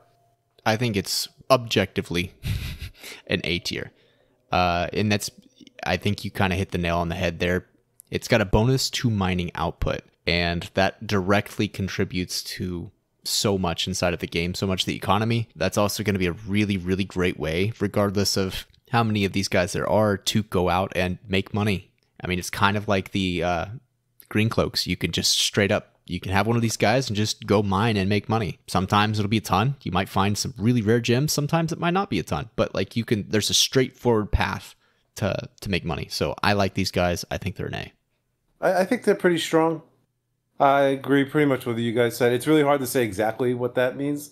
You know, did they like go through the rubble pile and further extract? I don't know if extract is the right word, but just making it so your overall mining operation is more efficient or more profitable then they could be really strong. Do they have a higher chance of finding gems? Without more information, like you were saying, virtual, it's really hard to pinpoint exactly how how good they'll be. But on the surface, they still seem like they could be quite strong. I would probably put them right above the conveyors, even though in the heart the conveyor might be more in demand. I, I think these guys that the, the potential profitability of them displaces them higher. We outvoted you on that one, and we're Hammer and I are both on A on that one. So okay. Yes. Uh, all right. Denied. Um, one last thing on these guys. When I think of the Glimmering Clan, I always think of if you've played Minecraft. I, I I'm just relating everything to other games, and I apologize. But I think of Minecraft and I think of a Fortune 3 pickaxe.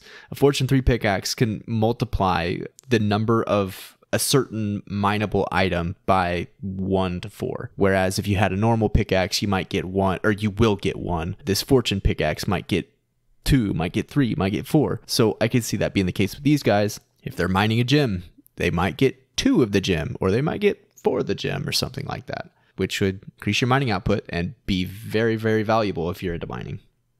All right, next. Yeah, up next we have the uh, the Deep Mountain Clan.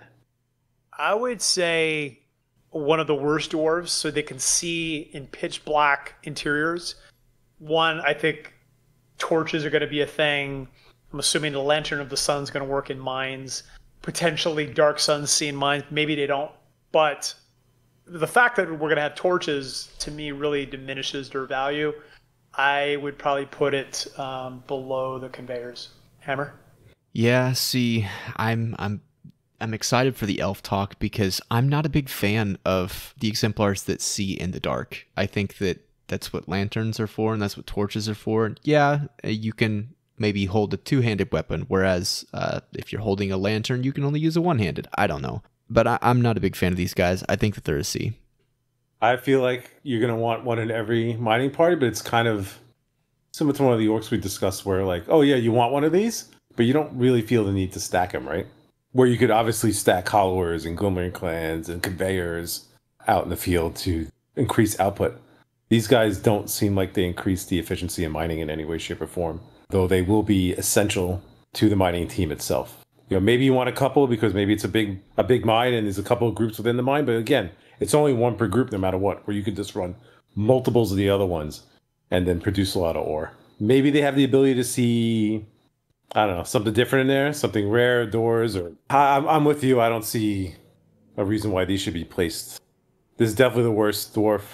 I think it's quite a bit worse than the other ones. I would, I would say maybe bottom of the B tier, maybe even lower, maybe even top of the C tier. I think all the dwarves are B though. You know what I mean? I think if they're going to get some sort of mining buff, uh, which I'm assuming all of them will, uh, mining is just going to be such a big part of the game. So go with going to the bottom of B though. Yeah, maybe they're the only ones that can mine, and maybe there's like a magical, you know, like a curse in a mine where you can't see, and only the Deep Mountain Clan can mine those areas, right? That could give them quite a bit of increased utility and value. But we don't have that information yet, so it's just all just guesswork at this point. So we can put them bottom of the B tier. One last thing on these guys. You'd mentioned them being in a big party, but I don't know how much use they would have in a big party. Because in a big party, you're going to have lanterns, you're going to have torches, which is going to kind of eliminate the need for this guy. So maybe this guy can scout ahead, can look down maybe smaller paths to find. Maybe the torches don't work inside the dungeons. Right? There's like a magical. Mm. It, it's hard. It's really hard to say. And that I mean, again, that's also like every mine can't be magical. It'd be not very magical, right? right. Yeah. um, for sure. So again, that once again kind of limits the obvious, the more obvious scopes of their utility. So right. Yeah, I, I think this is a good place for now things could change as always. Uh, but they, they seem pretty no, low B, high C for me. Last but not least, we have the Hollowers. But I love your voice when you introduce exemplars. This is the weirdest one to me. Feel for fractures. It's essentially the orc of the long hunts of dwarves. So there's going to be value. So again, reduce energy costs when mining. So I guess you're going to be able to go out longer and mine longer and go have less need to go back to into town. So yeah, I think I think the utility is is solid. Probably put it somewhere in the middle of the B tier. There's less trips into town, more time mining, more profitable. Hammer. Yeah, I like these guys. I like mining. The reduced energy cost when mining is very straightforward. That just means that you're going to be able to mine longer. So I, I would agree. Probably mid B for me. They're like the workhorse the actual engine of the the dwarf team, right? They're going to be doing the bulk of the mining. Uh, I think that kind of makes them almost like the green cloak for ore. I think they'll probably be the one in the highest demand, along with the glimmering. Those two seem to be the actual miners uh, versus the um, the other three. So I would probably place it maybe not as high as the glimmering, but just right behind it. I don't see what makes it much worse than the than the uh, the glimmering clan orcs. Oh, dwarves, sorry. So something a little that I've I've thought of previously is a team of hollowers and of glimmering clans working together and that hollowers do as you said a majority of the digging but then they leave the glimmering clans to mine up the uh, valuable assets that way you can i mean you're splitting the profits obviously between the two but you'll be able to get as much out of a trip as you possibly can so that would be a dangerous combo yeah, I think that's probably how it's, you know, at least based on what we know, that's probably how it's going to work. The, uh, the, how, the, the, conveyor, right? Yeah. So conveyor Right. for the Yeah, that's that's like the mining team, right? So you have the deep mountain that's making sure you can see things or scouting things. The hollower will dig in and and mine. The um, glimmering clan will kind of go through the rubble, and then the conveyor will move everything out. and then the Iron Shaper creates weapons. Yeah, I, I see these guys pretty much just being right behind the glimmering clan. They they do they're they're part of the same pair. You know, or they're part of that pair that, that kind of works together to get things done. All right, so we're on to the next tier exemplars here, onto the halflings. And the first one, if I can read that correctly, looks like the long songs. I mean, first of all, I think they're the most potentially the most intriguing exemplar. So just just so we get everybody caught up, if you're not familiar with them, they have the alacrity of sound. Hopefully, I said that correctly. They have reduced energy costs when playing music, and they're able to weave magic through sound. So, in a lot of ways, they're the first magical exemplar. I think obviously elves will have more power than them, but yeah, first of all, it sounds awesome. They're going to be able to play music. Hopefully, you know, I'm really hoping people can create songs within inside Mirandus using medieval instruments and make them into an NFT, and then they can play that song in a fight and weave magic. So I don't know. They're really intriguing to me. Uh, yeah, I'm very curious. So yeah, I think probably A tier for me. Hammer. These guys are so hard because there's there's hardly anything to go off of. Um, you know, there's only 800 halflings, but that that's about it. I mean, we've got reduced energy cost when playing music, but what does that mean? I'm assuming you can, you know, cast different buffs, kind of like you said, but what degree the buffs are, we don't really know. So it's these guys are hard, but they're really cool. and I could also see these guys having their place in a tavern and maybe giving buffs before guys go out for battle or something like that. Maybe recovery music. I don't know.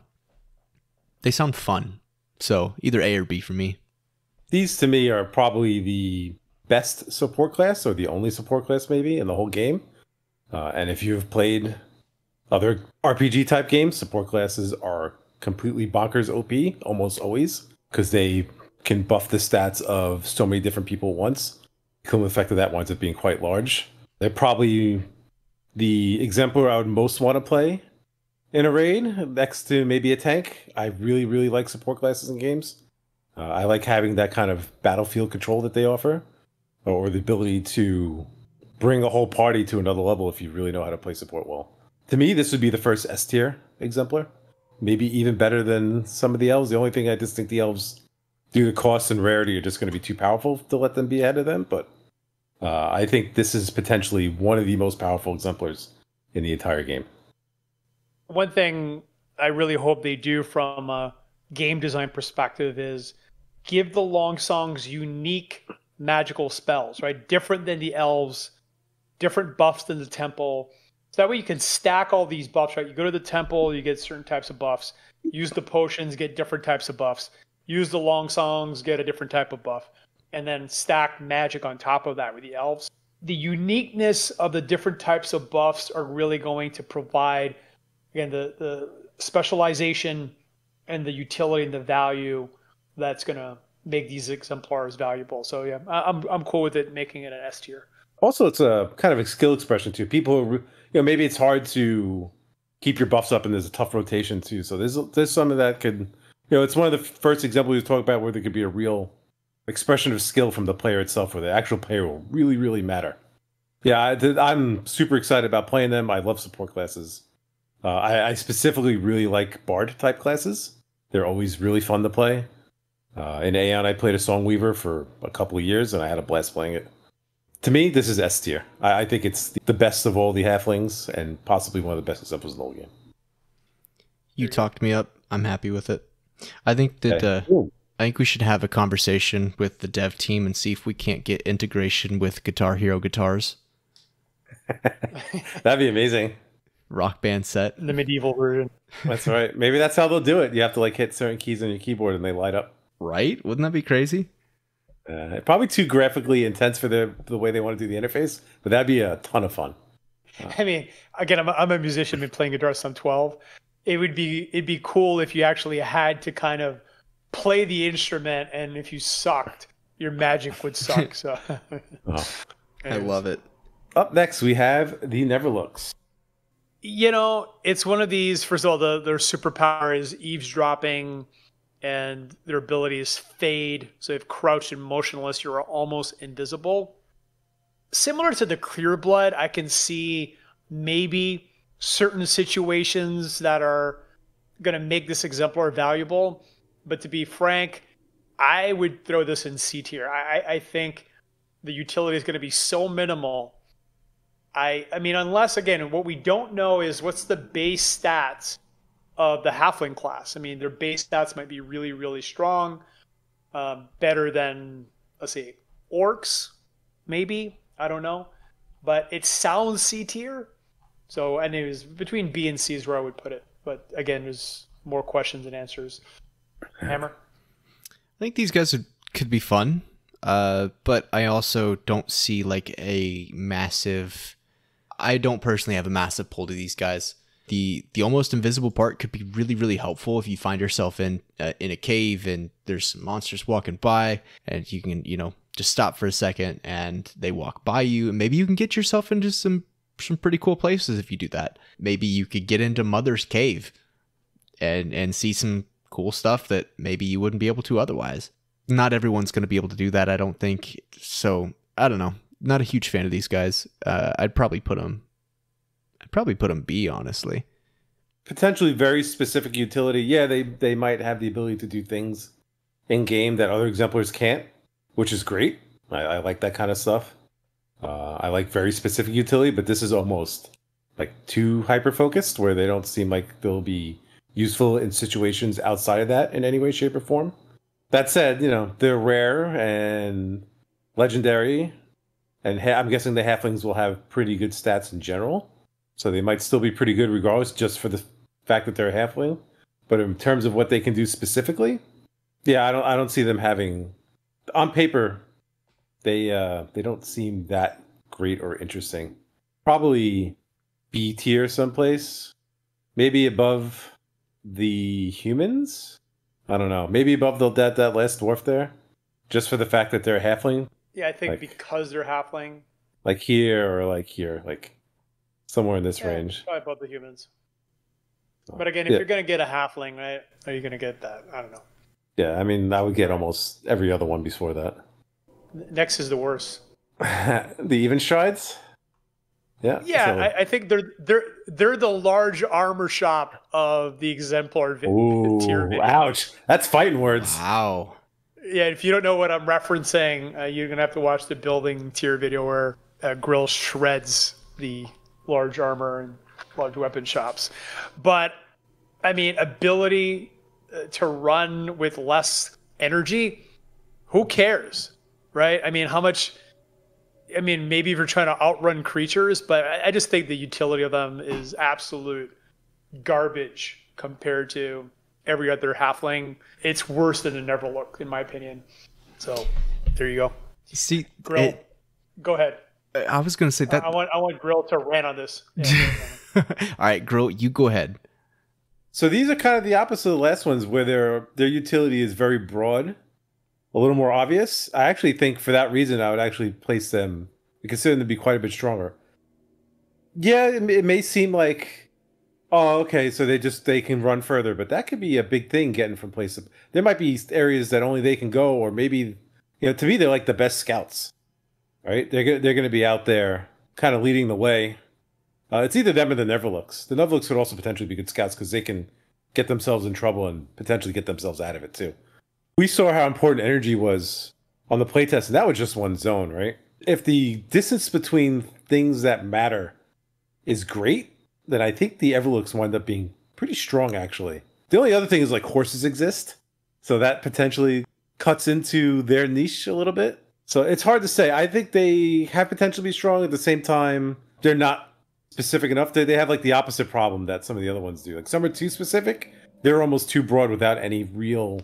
They don't offer anything unique enough to where you'd really want to play one. This is going to be really based on how big the world is, how it's designed. Do you really need that extra pool of energy to get around? You might. And then then they're going to be like incredibly powerful. But if you don't, then they're like totally useless. Hammer? It's interesting to hear Virtual talk about how he's not a huge fan of these guys because I think that these guys are potentially one of my favorite halflings. And that's just because their general ability in just about any circumstance. Everyone, oh well, I don't want to say everybody's going to be running. Uh, in the playtest, I was running more than I should have. I, I really shouldn't have been running. I should have been saving my energy, but these guys won't be using energy as much when they run. For instance, when we were chasing down deer or chasing down rabbits, I was clubbing deer and I was running, and I would have been able to progress a lot quicker had I have had that energy or had energy not been an issue with that kind of like we mentioned in the very beginning when we were talking about the usefulness at certain points in the game, I think that these guys will also have a massive, massive advantage in the very beginning of the game when trying to place down deeds. Because these guys are going to be able to get places that other people more than likely can't. Yeah, that's kind of where my mind's at with these guys. I'd honestly throw them at probably upper B. Upper B sounds pretty reasonable. I'd probably put them between the orcs and the dwarves. I'm good with that. Okay. I think halflings are just going to be B class. in. That that too. Yeah, like it's it's it's still a halfling, right? It's All still right. the large armor shop of the exemplar tier video. I am probably the number one fan of large armor shops. Just saying. Grill will buy Yeah. them all. Oh, I will definitely buy absolutely zero large armor shops. At least they did respond to that though, right? And said that the shops are going to be where They you did. actually sell. If they're not quite as bad. They're actually not bad at all now because Yeah, they, they kind of nerfed the forges a bit yeah. during that AMA. So Well, the forges were too good, right? If they were going to like craft everything and sell everything, then you didn't need shops, right? At least armor and weapon shop. Okay, up next we have the Mumsens. again, another exemplar similar to the Neverlook, similar to the Clear Bloods. I don't know if you guys ever played Assassin, the video game. It was a cool game, and there was places where you had to sneak to be able to finish a level. Like you couldn't just run around; you had to like sneak around. So these guys are the the sneakers. Hmm. they have still passage buff, move in almost complete silence, which I think, again, let's say there's a treasure or a certain area and it's just filled with dangerous creatures and you can sneak in do something or get something and be able to sneak out without getting caught there's definitely some value and utility to that right? I think just rushing in and zerging everything and just going chaotic is not always going to be the best answer. Again i think it's one of these exemplars that in certain situations is going to be the right one to use but uh, overall i'd still probably throw it middle of the b tier. I would completely agree with what you had to say. I don't think that these guys are anything um, super special. I don't own one. I'm not going to buy one, but I also see where they would be useful in certain circumstances. What's interesting, or I guess thought provoking with these guys, is why or in what way could they get past something? Um, is it how will the aggro mechanic work? Do they have to look at you to attract their aggro, or can you run right behind them and them not notice you? because that would actually that'd be kind of cool. But yeah, still not a huge fan. Yeah, I would kind of put these with the Neverlooks and they're scouters or potentially ones that can, or exemplars that can get to areas that maybe other ones don't have easy access to. I, I think what you said about aggro range, I, I think Alem said something similar in another video where maybe the, since they can move in silence, they won't trigger mobs as easily. So you can kind of run between things a little bit without getting caught. Seems oddly specific than sneaking around and doing things. They don't seem to have any other utility beyond that. Yeah, I, I think these are pretty much what the Neverlooks, maybe slightly better. Only because the Neverlook is like got to hit a no ship on it if they get in trouble. These guys uh, ideally don't get in trouble to begin with. What do you guys think about here? like it Yep, I like it. Okay. Up next, we have another mom favorite, the Proudhurst. Yeah, we own almost 17% of the Proudhursts. Obviously, for mom, absolutely S tier. And, and I do think it's A tier because, again, to craft hot meals, you're going to need them, and hot meals are going to be a hot ticket in Mirandus. So, definitely uh, one of the best halflings, if not the best. Uh, so, A tier for sure, and definitely one of the most important uh, exemplars in the game because you're going to reduce energy costs when cooking and brewing. So that's an interesting description, right? I mean, can every exemplar cook and brew? I don't know, but again, for us at Mom, it's going to be very important. So they excel at cooking incredible meals very quickly. So for production of hot meals, this is it. Hammer. Okay, before I go too deep into my thought process here, have has there been an answer on on energy regain? Like when you sleep, is it going to take time or is it going to be an instant thing you just have to pay? Do you guys know? It's going to be, uh, I think, instant. Instant. Okay. All right. Because what would keep a regular exemplar from having a bed nearby, maybe in in the building across from him, and just sleeping and then coming back and brewing? Just purely speaking of um, energy cost when cooking or brewing. It'll be highly inefficient, right? I mean, if you're trying to say craft 50 meals or 100 meals, I, I don't know how many meals you can craft before you need to uh, get your stamina back up. But yeah, it's it's hard to say without seeing the the details of the mechanics. But Yeah. I, I see what you're getting at. But I still think they're going to get a speed buff based on their description. When cooking. S- Speed's going to matter. Yeah, no, that definitely makes sense. And this is another one where I there's 800 of these guys. I like them because they do create consumables, but the fact that everyone else is going to be able to create con- consumables is also kind of or they're also going to be able to cook. These guys will have the, the, the benefit, and I think these guys would be really useful in like taverns or something. I think that's kind of ideally where they're supposed to be. So I like them, uh, but I still I don't think that they're they're S tier by any means. I'd, I'd probably put them upper B for me. They're crafters, and they're going to be the top crafters of the food market, right? I think that makes them pretty That's true. Just like the Iron Shapers are the top crafters for the ore market, these are the top crafters of the food market, and they're rarer. And there's a lot of food buildings. There's only 800 of these. So they will be in high demand, not only in those buildings, but in the top tier of those buildings too. Because they should be able to outproduce and potentially produce higher quality or in greater quantities when they do craft. I think they are quite strong. Rose colored glasses or not. These are top of the A tier for me. I put them above the Iron Shapers. I don't think they quite touch S class. I still think the long songs are uh, a little better, only because potentially long songs could even buff people in buildings or farms, and so they have like immense utility. Too much to ignore. But Proudhurst to me are just just behind them. Top of the A, maybe bottom S. I, I think probably top of A class. I think these are going to be the most in demand crafters in the whole game, like by quite a bit. There you go. I'm good with top of the A. I'm all right with an A. All right, so that finishes up the halflings. And up next, we have the cream of the crop with the very shiny profile pictures, the elves. And the first Yeah. one, oh, go ahead. No, I was gonna say it's interesting. There's like two different types of pictures for the elves: the darker ones and then the brighter ones. So Yeah. yeah. If you look at the humans, the true providers have like a little different, right? It's like a little lighter. Mhm. Yeah, it's kind of interesting. I guess some of the dwarves have some lighter ones too. Oh, maybe all the dwarves are lighter. Yeah. Yeah, so up first we have the Bright Sun Elves. First of all, I think all elves are S tier automatically. So really, we're just gonna be debating where they fall. Probably the worst elf.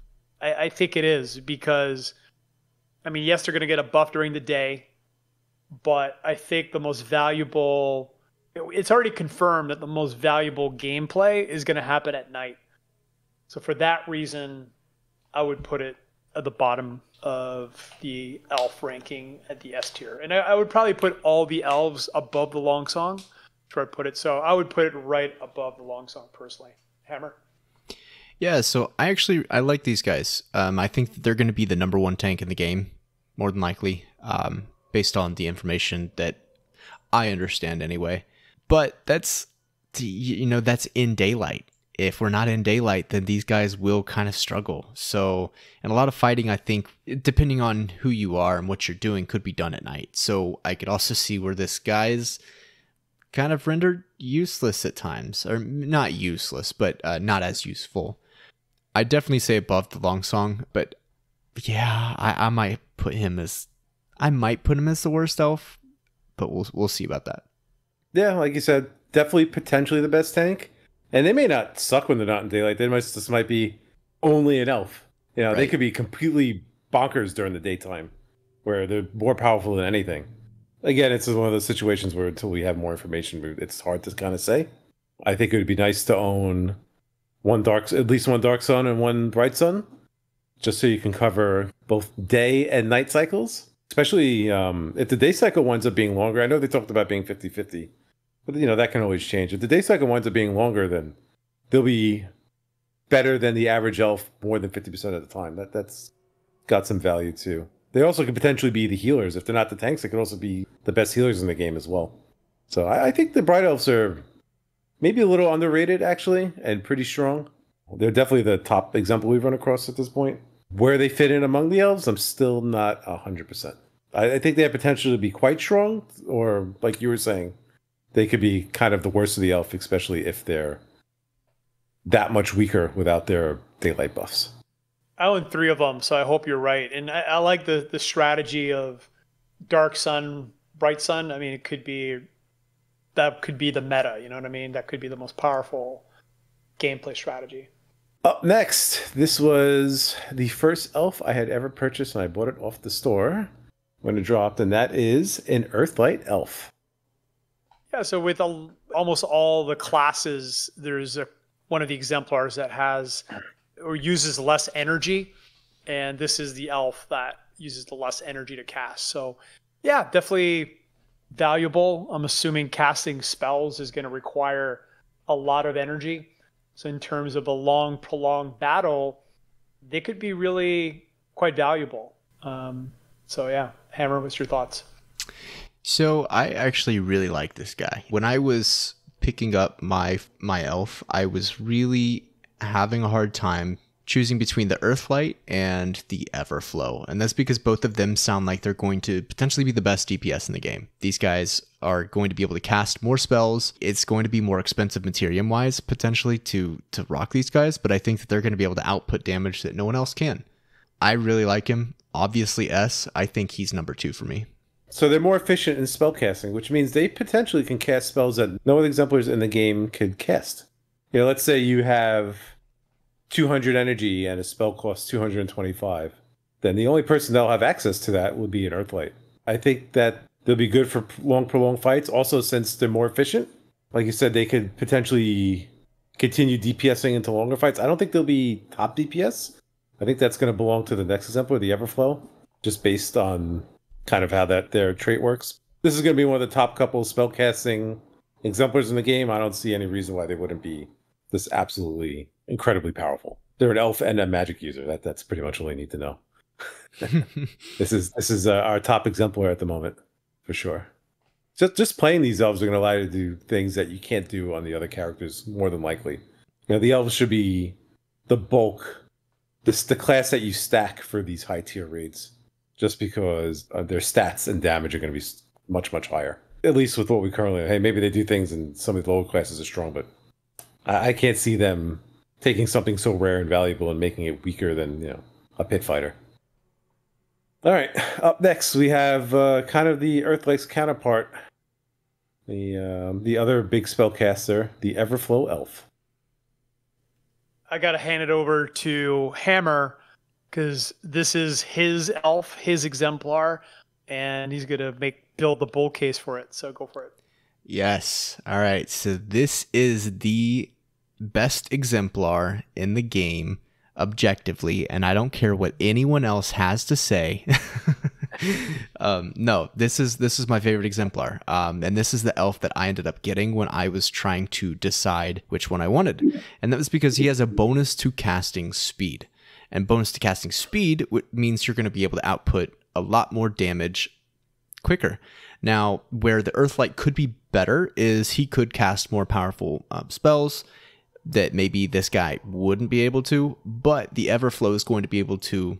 I think I think he'll be able to do more damage in the short term. Uh, I I don't know if there's going to be. I mean, there could be some spells that are just too too energy costly to to use, but I think the Everflow is going to be the best DPS. Yeah, so that's why I ended up getting him. And it's not just DPS, it just says bonus to casting speed. Now that could be healing magic, that could be um, that could be any kind of magic. We don't really know how magic's going to work, so these guys could be the best healers in the game. They could be the best DPS in the game. They could be the best uh, potentially tanks in the game if they're casting protection spells. We have no idea. But these guys are going to cast spells the fastest. So that's why I think these guys are the best exemplars in the game. There's definitely an argument for that being the best. I don't have too much more to add to that. I pretty much agree with what you said. They're going to offer the most, the quickest and most exciting gameplay for the Magic casters too, which most people tend to like that that kind of play style too. So, yeah, no, I think these are definitely in the running for the best. I think that really, I mean, it's really hard to say. Other than the Bright Suns, which are a little more murky, I think the the last four could all potentially be the top one. Depends on the situation and how things are in game. But we can put these slightly above the Earthlights just because I think they'll be a little more popular and potentially a little bit stronger uh, as well. Can you create a double S tier? No, no double S tier. do, do you mean an Everflow tier? Yeah, just the Everflow tier. That's what we should call Okay. it. Yeah. Yeah, G tier, God tier. So, yeah, no, so the next is the All Sight elves. And I- I'm torn right now, honestly. I'm torn. My original plan, which I'm questioning, was cycling between All Sight in, in the day and in dark sun at night. But I'm questioning everything after doing this video. Might do bright sun, dark sun. I don't know. We'll see. Everflow. I, I've got all the elves, so we'll see. But I like shooting things. I'm very curious to see what the buffs are going to be. Is the target range bigger? Is the range of combat bigger? How good does shooting things feel? Honestly, in the last playtest, it was a little bit rough to use the bow. Their description is definitely one of the more interesting ones. Um, it is said they exist across time, letting them focus on something inside of our future. I don't know if that's just a cool copy that they crafted. Their ability is bonus to ranged weapons. So again, depending how good range weapons will be, they'll probably become my exemplar of choice during the day. And you know, we saw how important from a strategic perspective range combat was.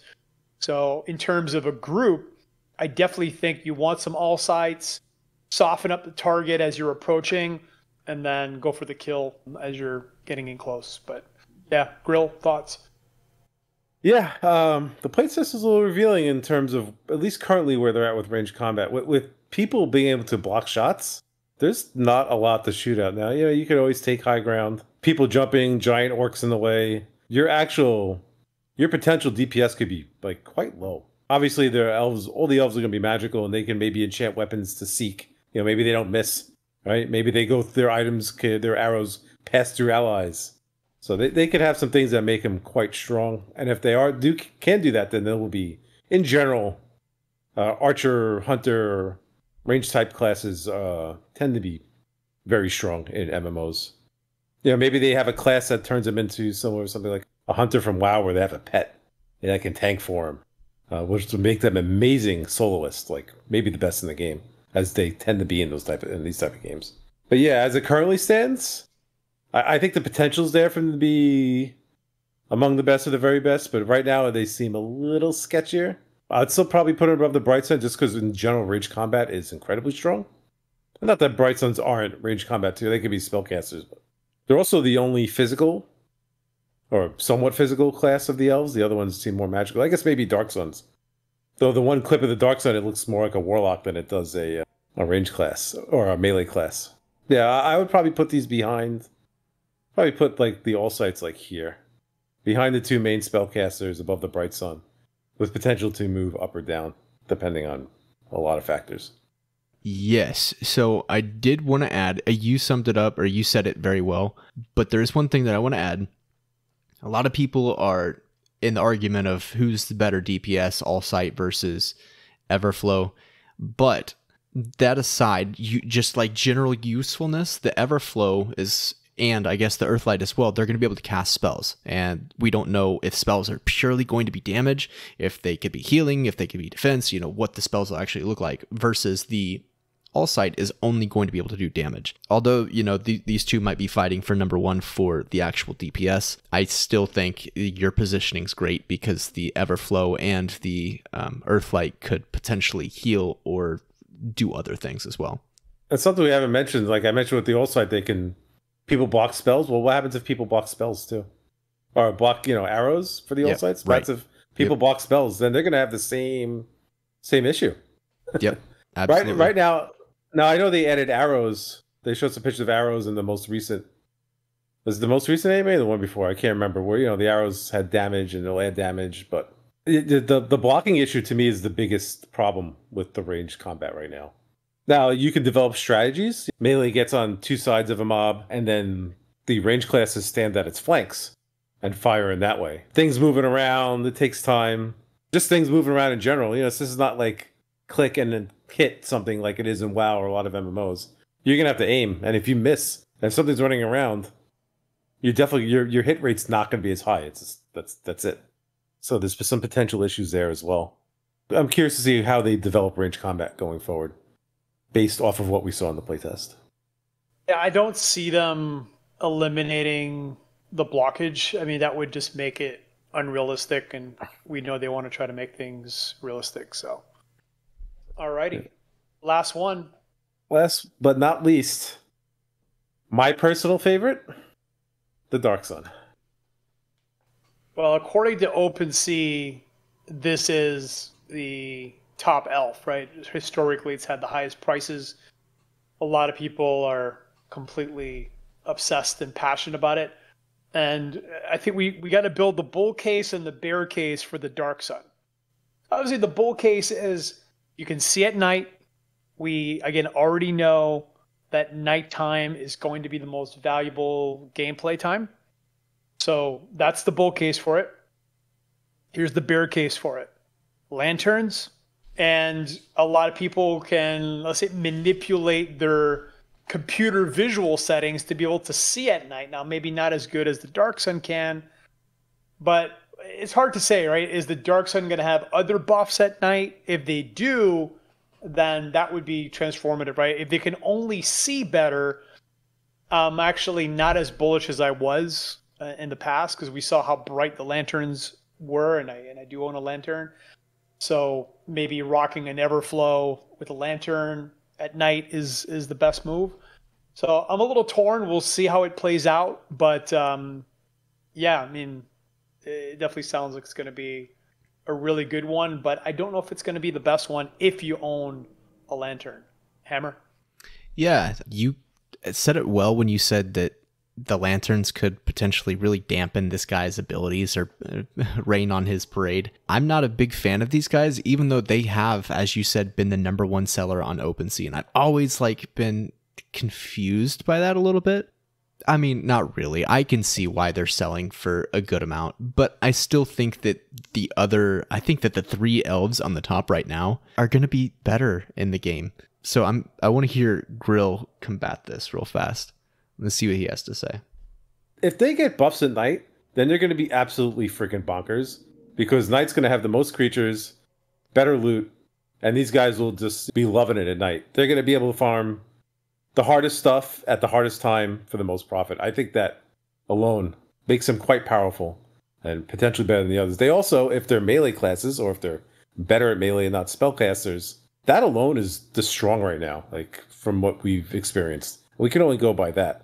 Now, even the spell if spellcasters wind up getting their spells blocked, then they're gonna run up in the same they can do a little DPS in the world, but it doesn't make a difference if you're hitting an orc in the back of the head, your fireball a hundred times, you know, or your ice lance or whatever.